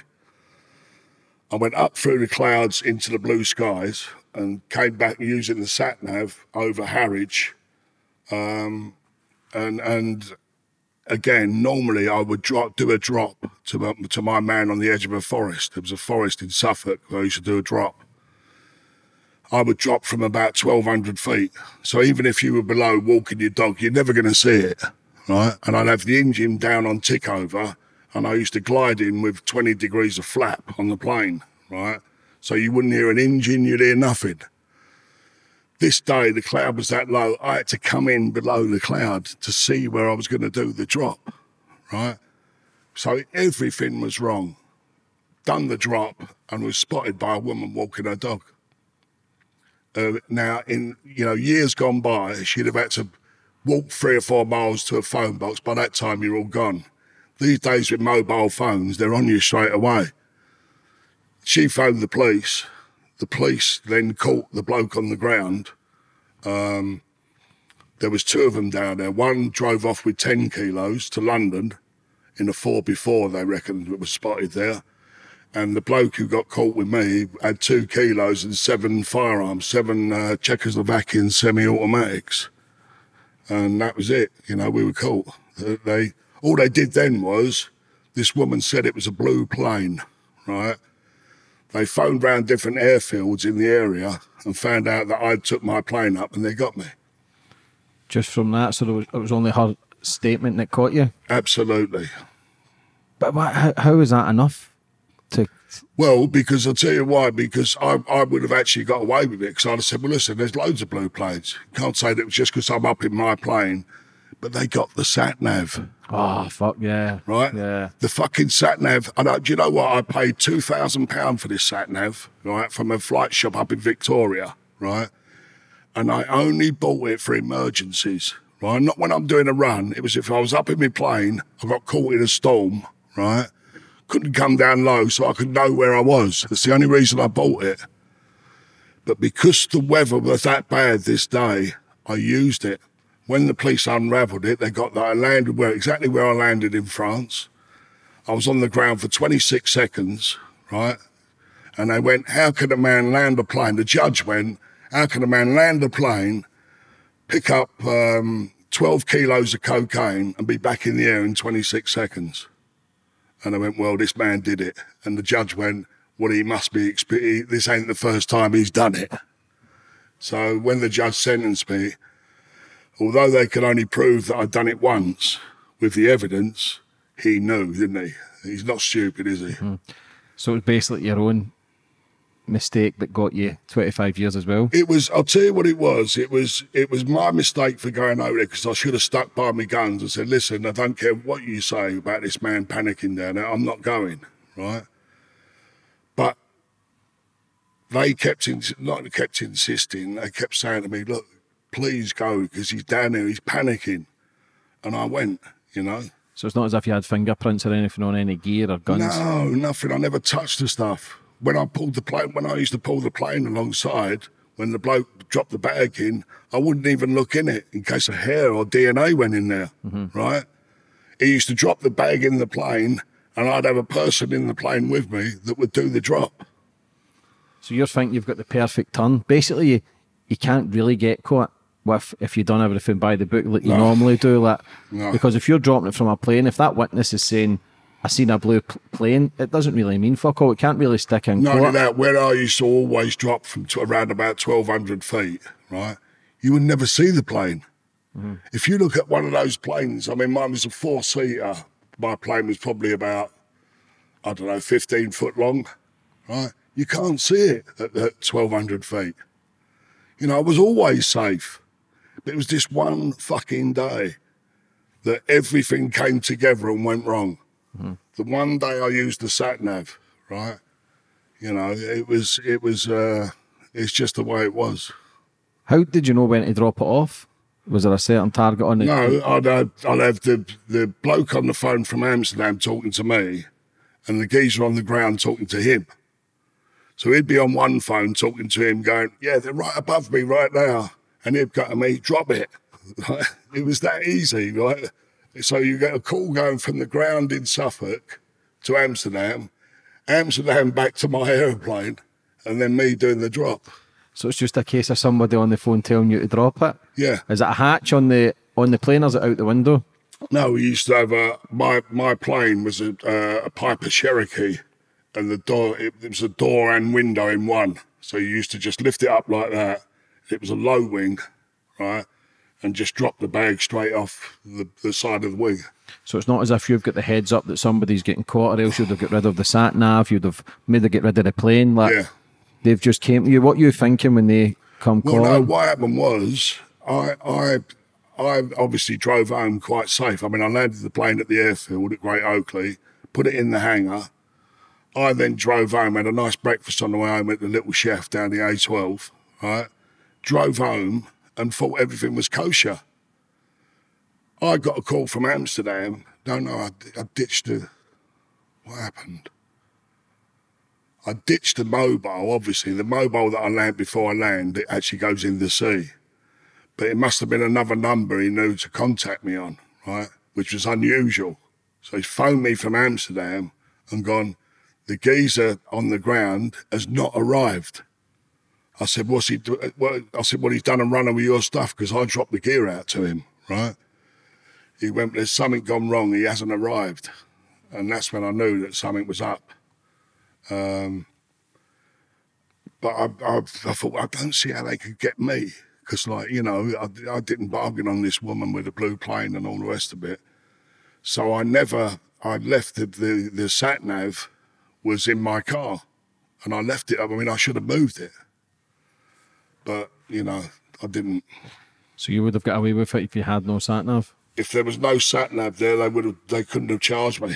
Yeah, because anybody could have been driving that plane. Or The, well, the, the, the Crown, the CPS would have said to them, you haven't got enough evidence. You know, they wouldn't have allowed them to proceed. It was the sat nav that sunk me.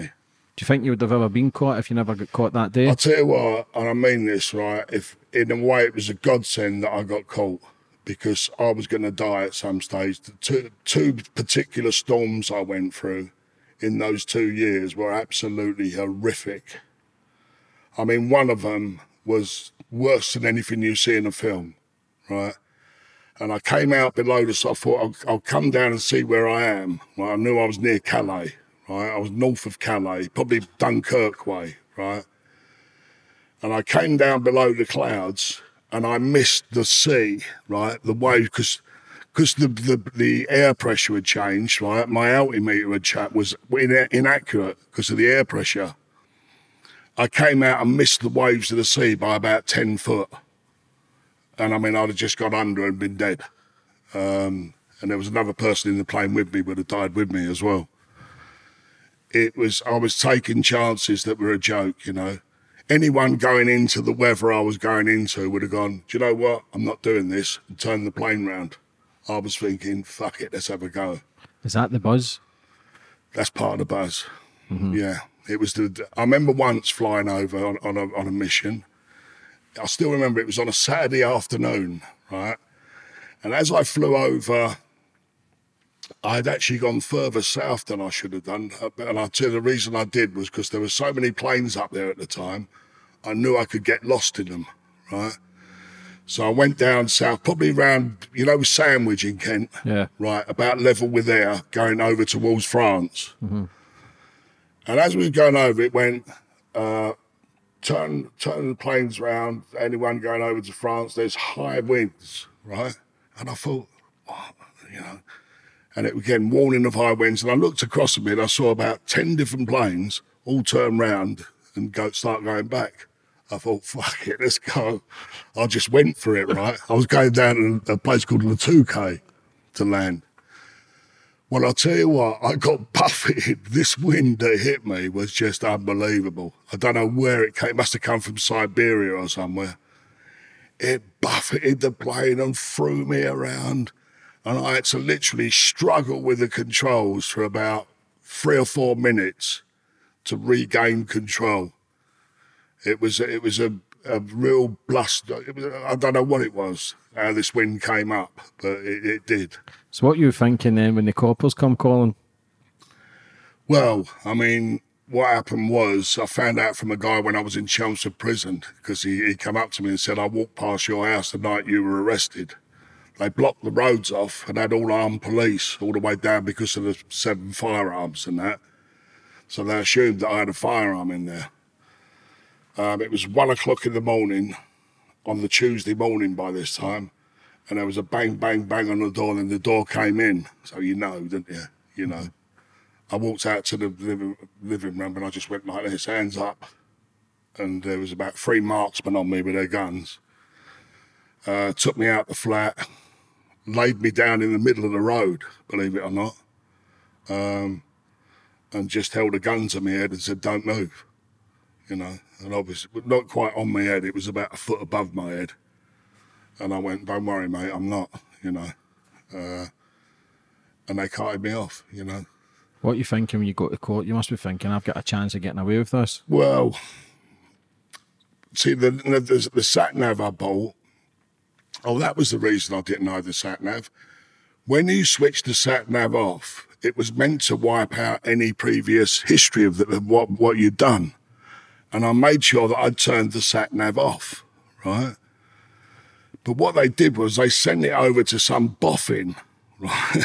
this boffin was obviously really good with sat navs and that, and he'd worked out that I'd gone to France was on the ground for the 26 seconds, picked the. So the, the, really the sat nav had grasped me up. Um, and up until then, I, I didn't realise until they got the police report back saying that they'd worked the sat nav out. I thought I was going to get off it. Yeah. Even it's mad the technology. Even I know a lot of friends and that. I know a lot of people are in prison with the Encro phones and they think they can talk with the way they want to talk. Yeah. If it's technology, man, there's always a way around it to find the data, to find know. the information. That and you're talking what early two thousands. Um, this was 2008. The technology now, like, it's it's mad. And so you're thinking, in you're getting a chance. When did they start releasing the evidence that they had? Well, they took me to court um, the, in uh, to get further remand because obviously I was remanded in custody Over a For- year? for- um, I was over. I was no. They arrested me in the February, and um, I ended up actually pleading guilty at court. I think it was in the July, and then they didn't sentence me. They they sentenced me in the September. I think it was. Yeah, that's pretty a fast case for the turnaround from February. Yeah, because I pleaded pled? guilty. Yeah, you know, I pleaded guilty, and the judge, I knew the judge really had it in for me. So, a week before the trial, before I was going to be sentenced, and I actually I was ill. I did feel really ill. Um, I said I can't go to court. Well, I was trying to get the judge moved on to get a better judge, right? But he weren't having it. He was he was involved in a fraud trial in Swindon. He stopped the trial to come back to set Chelmsford to sentence me.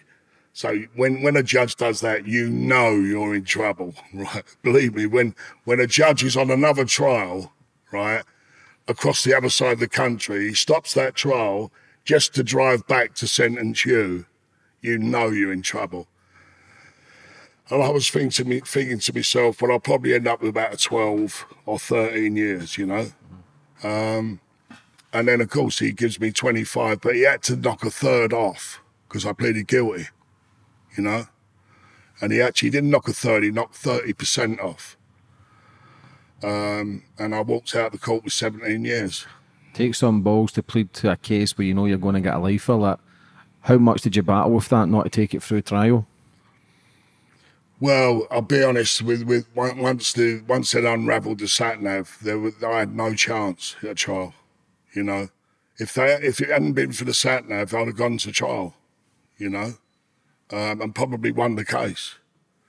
Um, but let's face it, I was guilty. Um, the police had done their own work. The police had gone to this specialist who somehow I don't know how he done it, but he, he managed to because that sat nav was meant to wipe out all records when you use it. You know, I remember I talking to the bloke at the shop. He said once you switch it, switch it off, it's scrubbed. But he managed to track it.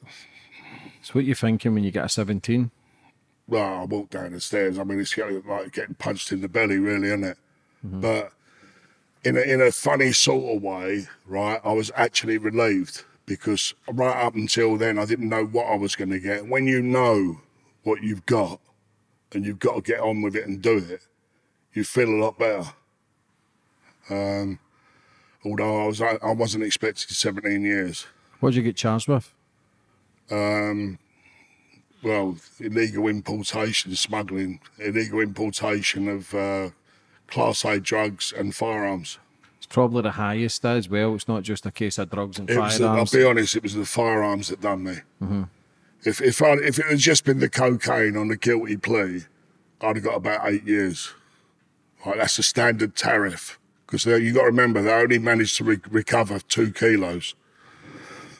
but the guy that was on the trial with me, he turned QE, right? If you turn a snitch, Yeah, he turned snitch. He, uh, the guy that got caught with with the whole package only got seven years.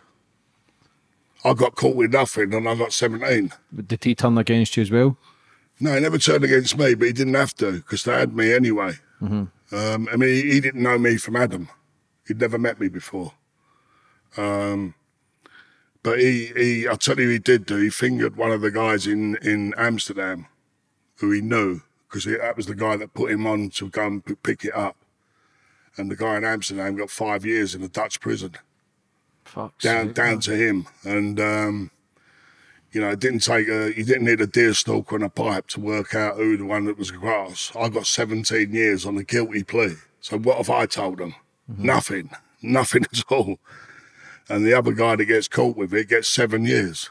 You seem to be a man of your word as well. Like you seem to fly straight if you're in that circle. You I've know never, I've never, never grassed bend. anyone up in my life. You're never going to bend or break. But see, when you're pleading guilty as well, and somebody gets stuck in, does that then think, "Fuck, I hope they don't think it's me"? Well, yeah, but the, the thing is, my sentence spoke volumes for me. I mean, even when I went to when they moved me from Chelmsford, where I was I was there for about fifteen months, they moved me to a jail up in Nottingham with all major drug importers from Liverpool. I remember you interviewed Stevie Me, didn't you? Yeah, Stevie. Well, Stevie Me was one of my mates in yeah, there. Stevie's right? proper. He's a lovely bloke, Yeah. Steve. Really quiet, lovely man. Um, they put us all in the same wing together, right? And no one could look at my look at my sentence, 17 years on a guilty plea, and think that I'm a grass. It's impossible. Yeah. If I was, if I was for what I'd done, I was doing six years, then I'm a definite grass, but not with 17. What's the first night when your door's banged up and you're getting, you've got a 17? Well, you got to remember, I was already on remand for about eight months. Um, so I was used to being behind the door. Funny enough, in, in, a, in a funny sort of way, it was relief because you finally know. It's like when you haven't been sentenced, you don't know what hurdles you've got to jump, right? When you've been sentenced, you know it's a 17 year, although it's a big sentence, you know it's, you, at least you know what it is. So it's a relief. Um, on one hand. On the other hand, you think, hang on a minute, 17, is that right? You know, It's- It's a big one. it was a, yeah, I I mean, you got to remember, I'm on a guilty plea, so I had 30% knocked off of that. So my actual sentence was 24 years, you know, but the judge had to knock a third off. What were you, you, category A? You must have been category A for a good while there. I was category A when I first went in, um, but after about three months, they dropped it. Straight away, fast. Yeah, I was I was dropped down. Um, I think it was the July. I was arrested in the February, and then I was uh, back down to B category. I think in July. How many different prisons were you in? I went to. Uh, I started off at Chelmsford. Then I went to Lowdham Grange, uh, at Nottingham. Um, then I went to open a new prison at Thameside in South London. Uh, about 15 of us went there to basically show the screws how to run a prison. That- that's, the, that's the gospel truth. You know, the company Serco that run a lot of prisons now, they wanted us to go down to show the screws what roughly what was what was done, what. Um, and that was easy. That was easy time. You know, I was unlocked all the time. And Lowdham Grange was a great prison. And not great prison. I don't say it for the fact that it was it was easy, because all all the time you're away from your family, nothing's easy. But what it was, it was the type of prison that would help people rather than make them more bitter. Let me phrase it that way. You know, you had education classes, you had great access to the gym, you know, clean living. Um, then after Thameside, I went to uh, a prison called the Mount in uh, Hertfordshire. Um, that was quite a tough jail. It weren't easy How come? Just the, the, the conditions. It was quite security um, conscious. Um, he was in the cell a lot of the time. Um, yeah, it wasn't it wasn't the greatest of nicks. But the gov, funny enough, the governor there, I got to know the governor because I ended up running the magazine in there. I was doing a lot of writing while I was in there. And uh, the governor was a very, very decent man. What do you really think of the prison system for like the late seventies? Slot them out, no TV or fuck all to the prisons of Oh, you 2010. can't compare it. I mean, the, I mean, look in in Lowdham Grange when I was there, I was in Lowdham Grange for nearly four years, um, three and a half years. We had flat screen tellies, we had Sky. We we used to pay for it out of our phone calls, right? We had Sky Telly, Sky Sports, all the big fights that were on at the weekend. We used to watch we had we were allowed our boxing gear in there. We used to take I used to take boxing classes on a Sunday morning in the snooker room, right? And we used to have sparring sessions, and you know, it, it, it weren't that bad, honestly. Then when we finished the boxing training, my mate used to sort it out with the hot plate boys, and we'd have a whole tray of bacon So we'd have about half a dozen bacon sandwiches each and that, you know. How do you get through a sentence like that, Sidney? Like, I'll tell you where, how you get through. You get through it by laughing.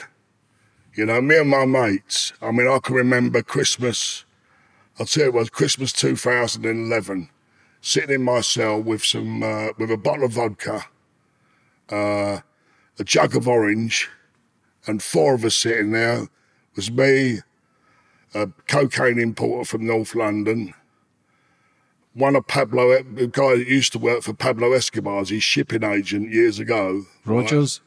No, it was a, a geezer. Uh, we we called him Dutchy. I can't remember his, his real name, but he, he was a Dutchman, but he was a shipping expert. You know, they used to move stuff from Bolivia, and he would move it to it's suspended a dockyard in South Africa. And then from South Africa, it'd go to China, and then in the end, by the time this this container got into Europe, no one knew where the fuck it had came from. You know, where it come from Bolivia. It was full of cocaine he was the shipping man for Escobar. And I remember sitting in my cell just laughing and drinking and laughing, you know, because it took your mind away from your sentence. Yeah, caged up. See, when you're all sitting together with importers and people bringing Yeah. gear from all around the world, you, in your mind, you're thinking we can work when we get out, or you're just thinking, fuck this No, life? we, you're forging friendships all the time, honestly. I mean, it never came to fruition, and thank God it hasn't, because I, I've, I've, I'm out out of it all now completely. But when we used to sit in my cell and that, we used to talk about what we're going to do when we get out. We can, I can ship stuff to you. Sid, can you fly that down if we get this stuff? I mean, at one time they wanted me to land in this airstrip in Brazil, in the Brazilian jungle, right? And fly from Venezuela into Brazil, where I'd be under the protection of the Brazilian police, and and so on and so forth. You know, and it, it was all plans that you just made them at the time. They were amusing. You know. Mm-hmm. But at that time, knowing your personality, you probably would have done it. I would have fucking done it, definitely. I mean, my, my people, before I got nicked in Amsterdam, I'll tell you what they said to me, because what it was, like, these, the people that I work for, right, that actually had the cocaine, they're, they're the ones, they, they, I would never meet them, right? They would use a middleman who would meet the man that would meet me. And they, the cocaine used to go out all over Europe like that. They had buffers all the way down the line. So the people at the top, you never met them. But when I escaped from the customs, like I told you about earlier, where I escaped from the customs when they when they run at me plane one night, when they found out that I'd done that, they went, "Can you ask this guy if he would go to America and get a jet license?" So they said to me basically at a meeting in uh, Haarlem, just north of Amsterdam, "Can you go over and do a jet license?" I went, "Yeah, I could do it easy." Right? I said, flying a jet is just the same same principle as flying a small plane, right? Just with a bit more technicality. So they said, well, what we do is we'll give you a Learjet, right? We'll buy you a Learjet and it's yours all year. You can use it. We pay for the fuel. We pay for the airport storage. You can take your friends on holiday. You can use it when you want. However, twice a year, you've got to take, bring two tons of Coke from Brazil into North Africa. And I went, tell them I'll do it. I'll do it no problem, right? So obviously I'm not talking to them. They won't meet me. I'm just talking to the buffer right in between. So he said, you won't have a problem, mate. I said, not at all, mate. So anyway, they agreed that I'd go over to Florida. I'd do the jet course, which was six weeks, right? They'd give me the Learjet. Then twice a year, I'd have to fly from Brazil into a place called Mauritania. Have you heard of it? No. It's a country in North Africa. Land at Mauritania, where I'm under full protection of the police, right? Because they're corrupt, right? And the rest of the year, they would give me a million dollars per run, right? So I do one run over, a million dollars. Three months later, I do another run over, million dollars. That's all I have to do for all year. And I've got the Learjet all year to take my friends on holiday, my girlfriend out to lunch, everything. And it was all agreed. And then about two weeks later, I got nicked with this. Where do you think you'd have ever stopped? Do you know what I mean? I'll tell you what, it was when when I, I came back home and I thought about it, I thought, this is what I really want to do. You know, get the get the Learjet, land it in Brazil. Um, they were going to fit extra uh, tanks in it, to, to give it the range, right? Because I think the Learjet, I think it's got a range of about 1,200 miles, right? But they were going to fit extra tanks in it that give it a range of about 2,500 miles.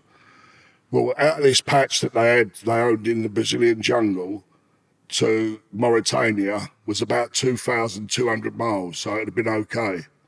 Um, and I loved it, you know, I loved every minute of it. Uh, but I got caught, you know. That's a lifer in Brazil, or a lifer, and possibly shot one in the head as well. Do you know what I mean? The only danger I, I, I thought was right, if if there was ever uh, the, the people in Amsterdam wouldn't turn on me, but if anyone was going to rip them off, say the people in Mauritania, I'm the first that gets shot. You know, if they suddenly go, well, hang on a minute, we got two ton, two tons of coke at that time was roughly 72 million pound. I can tell you the price of it, right? 72 million. People will kill you for that, mm-hmm. right? So I didn't have any fear of my people in Amsterdam. They fucking love me, right? They're not. They're going to protect me.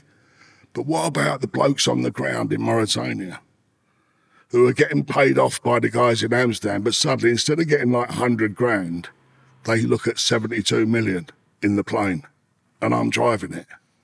Yeah, it's a different ball game. When was the moment in prison you decided, okay, I'm going to stick to my guns and I'm not going to get involved in crime again? Was it a few years later, or was it straight after your I sentence? think I think it was straight after I got out actually, because uh, a couple of a couple of people did contact me. Uh, one one one team from North London said, just name the plane you want to buy. We'll buy the plane, but you obviously you've got to fly stuff in for us. And um, what had happened was I was placed on the voice recognition system at Cheltenham. You know the HGHCQ, Yeah. G, GCHQ, right? Well, they spent 20, I don't know if you know this, right? That building and the equipment in it came to 20 billion pounds. They can listen to conversations. There was a, an uprising in Nigeria. They were getting conversations coming from the middle of the jungle, right? So what chance have you got in the, in the English Channel? So I thought, it, you know, and sometimes you do have to use a radio, you know, you especially if there's bad weather or you're in trouble or whatever. And I thought, no, I can't, I can't do it. And no, no, no, my voice was on the voice recognition system at GCHQ. Well, I was told that, I was warned about it. Um, so I, I turned it down, you know. So what what do you do when you come out? Then you've just done a life sentence, like probably on your ass again, probably back to square one. Sitting No, I weren't back to square one. And I'll tell you why I weren't back to square one. I can say this now because I've done the sentence.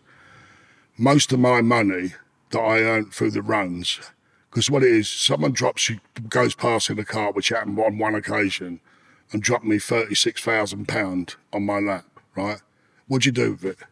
You can't fucking bank it. You can't go, you know, I mean, it's, it's pound notes are a dodgy situation to have in this country. So what I did was I used to make them keep my money over in Amsterdam, right? I used to go down to a, a contact that was part of the, the group who actually run the show, and I would buy diamonds off him for cash, right? I would then drive down to Antwerp, sell the diamonds at Antwerp, but get a check. Then the check would go into my Luxembourg account. And the police spent a year searching through Luxembourg trying to find my account. Never got it. What, under Sidney William Wright? Do you think I'm stupid? it was never going to be in my name, mm-hmm. right? So they say, so they allege. Mm-hmm. Now, I'm not to say whether that story is true or not, right? It may or may not be, you know, people make their mind up. But I used to change the diamonds up at Antwerp and, and, and turn it into checks. I, I'd lose a bit. On, a, on, say, 50 grand, I'd probably lose about five or 6,000 into the value of the stones. So I'd buy the stones for 50,000, but I'd go to Antwerp and only get checks for 46. But happy days, It was clean. clean. So when you came out, then what's going through your mind? Like you've done a life sentence, you've got a bit of dough tucked by, you've been offered big jobs. Like was the temptation always there, Sidney, to go back to your old Yeah, ways? definitely. Definitely. The temptation's always there. I'll tell you one of the reasons why. Not for greed for money, because I've got enough now to live the rest of my life really comfortably, honestly. I really have. and I won't make the silly same mistakes by taking chances. I'm too old for it. Um, but the, the, the reason that I wouldn't uh, go back into, into into crime now is is just the age factor and then the you know it's a young man's game really. It's you know to be to be involved in it to that extent. Um, it's not something that I really want to do.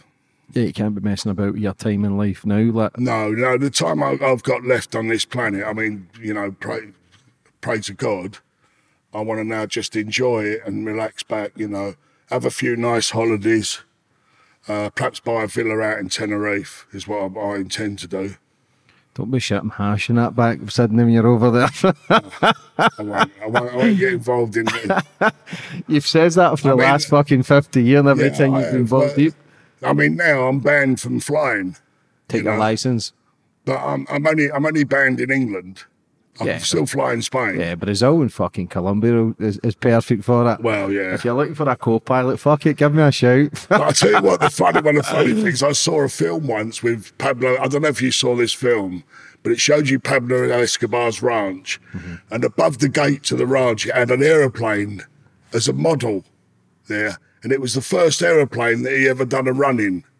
Pablo Escobar, hmm. right? And fuck me, do you know what? It was the same colour and same plane that I had.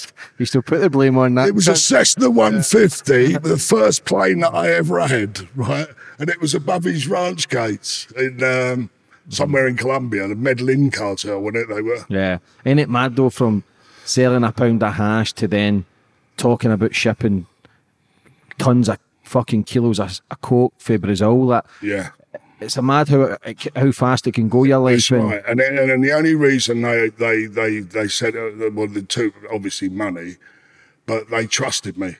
When I was chased by the customs, uh, I could have easily said that I ditched the gear, ditched everything, right, and kept it and made money out of it, right. There was supposedly, reputedly, right, by the police, ten kilos that that night, that night, right. So I could have easily kept three hundred and sixty thousand pound for myself, but I didn't. Right, I told them exactly where the drop was and that, and they found it two days later. Right, they knew I was honest. You know, if I'm working with someone, and if they ain't honest, I mean, I'll give you an idea. I went over there in, must have been about 207, right? Anyway, my mate unusually wanted to meet me up in Haarlem, right? So I've gone north of Amsterdam to Haarlem, and we've gone to this restaurant, right? And we've gone to this restaurant, I thought, this, this is unusual. We don't normally do this, right? And I had some money, I had some diamonds to sort out, and I had some money to take down to Luxembourg and that. And I thought, this is a bit strange. And there was a fella there that I didn't recognise, right? Anyway, turned, it all went down sweetly. I got my stuff, I bought the diamonds, went down to Antwerp, got the checks and painted everything done. It later turned out that the bloke that's sitting at the table was a hired assassin, right? This is a true story. Check with the police on this. Now, that weekend, without me knowing, right, because I don't know, I've only just flown over there in my plane, right? He had murdered three geezers that had turned this firm over that I worked for for money. Right? I don't know. it- I mean, rumor had it there was hundred kilos of coke involved, right? But I don't know because it's only a rumor, right? Now, I didn't know that this bloke's an assassin. How would I know, right? But they've got got us on camera in the fucking restaurant. Now, I'm arrested in England, like we know, in 2008, like I told you, and I'm on remand, right? Guess who turns up in the cell next to me, right, in Chelmsford? The fucking assassin, man. right? Now, I'm not stupid and he's not stupid, right? He knows where, but I don't know. At this time, I don't know an assassin. I went, what are you doing here, so and so? He went, I ain't got a clue. He said, apparently they've found my my DNA on a bullet casing in Amsterdam where three people were wiped out. I went, what? He went, and I, I mean, I'd heard about it, but only only a whisper. So he said, uh, yeah, he said they've got my DNA on a bullet casing. He said, now he knows that they've put him next door to me and they've bugged the cells trying to get us to talk, right? But I genuinely didn't know anything about it and he's too clever to fall for that for that type of trick. he went, I don't know what they're talking about, uh, mate. He said, uh, you know, they've got me on this, this, and the Dutch police came over, questioned him for about four days, then they had to release him. But he wiped out three geezers over there, this bloke. And it was over, uh, obviously, stolen cocaine. So you've went through all. You've been out of prison your whole life. You've made dough. You've lost it. You've made it back. You've got out. You've got a bit of dough tucked by that. What's your life like then? Obviously, the temptation's always going to What be there. now? Yeah. Well, now, no, I just, I just take it easy. I'm, I'm, uh, you know, I've got uh, f- just a few months left on my license to do for probation and that.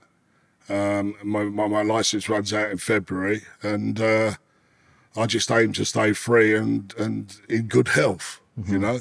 How was it writing the book, The Last London Gangster? That How was that? Yeah, it was it was fantastic because I, I mean, there's some of the stuff in there is not how it happened. Um, yeah, you had to change a few things. I had to change a few things because they said to me if I wrote the exact story of what happened with my smuggling and that, it would be considered proceeds of crime. Um, so I had to change a few names and change a few situations and change a few locations. But a great deal that happened, including the murders in Amsterdam, are all in there. Um, and the story behind uh, how the murders happened and that are all in there. Um, so it, it's, it's it's basically it's probably about seventy percent true, and thirty percent I had to meander around. Yeah. Where can people buy your book, Sidney? Um, it's on Amazon Prime. You go on the, the internet, Amazon.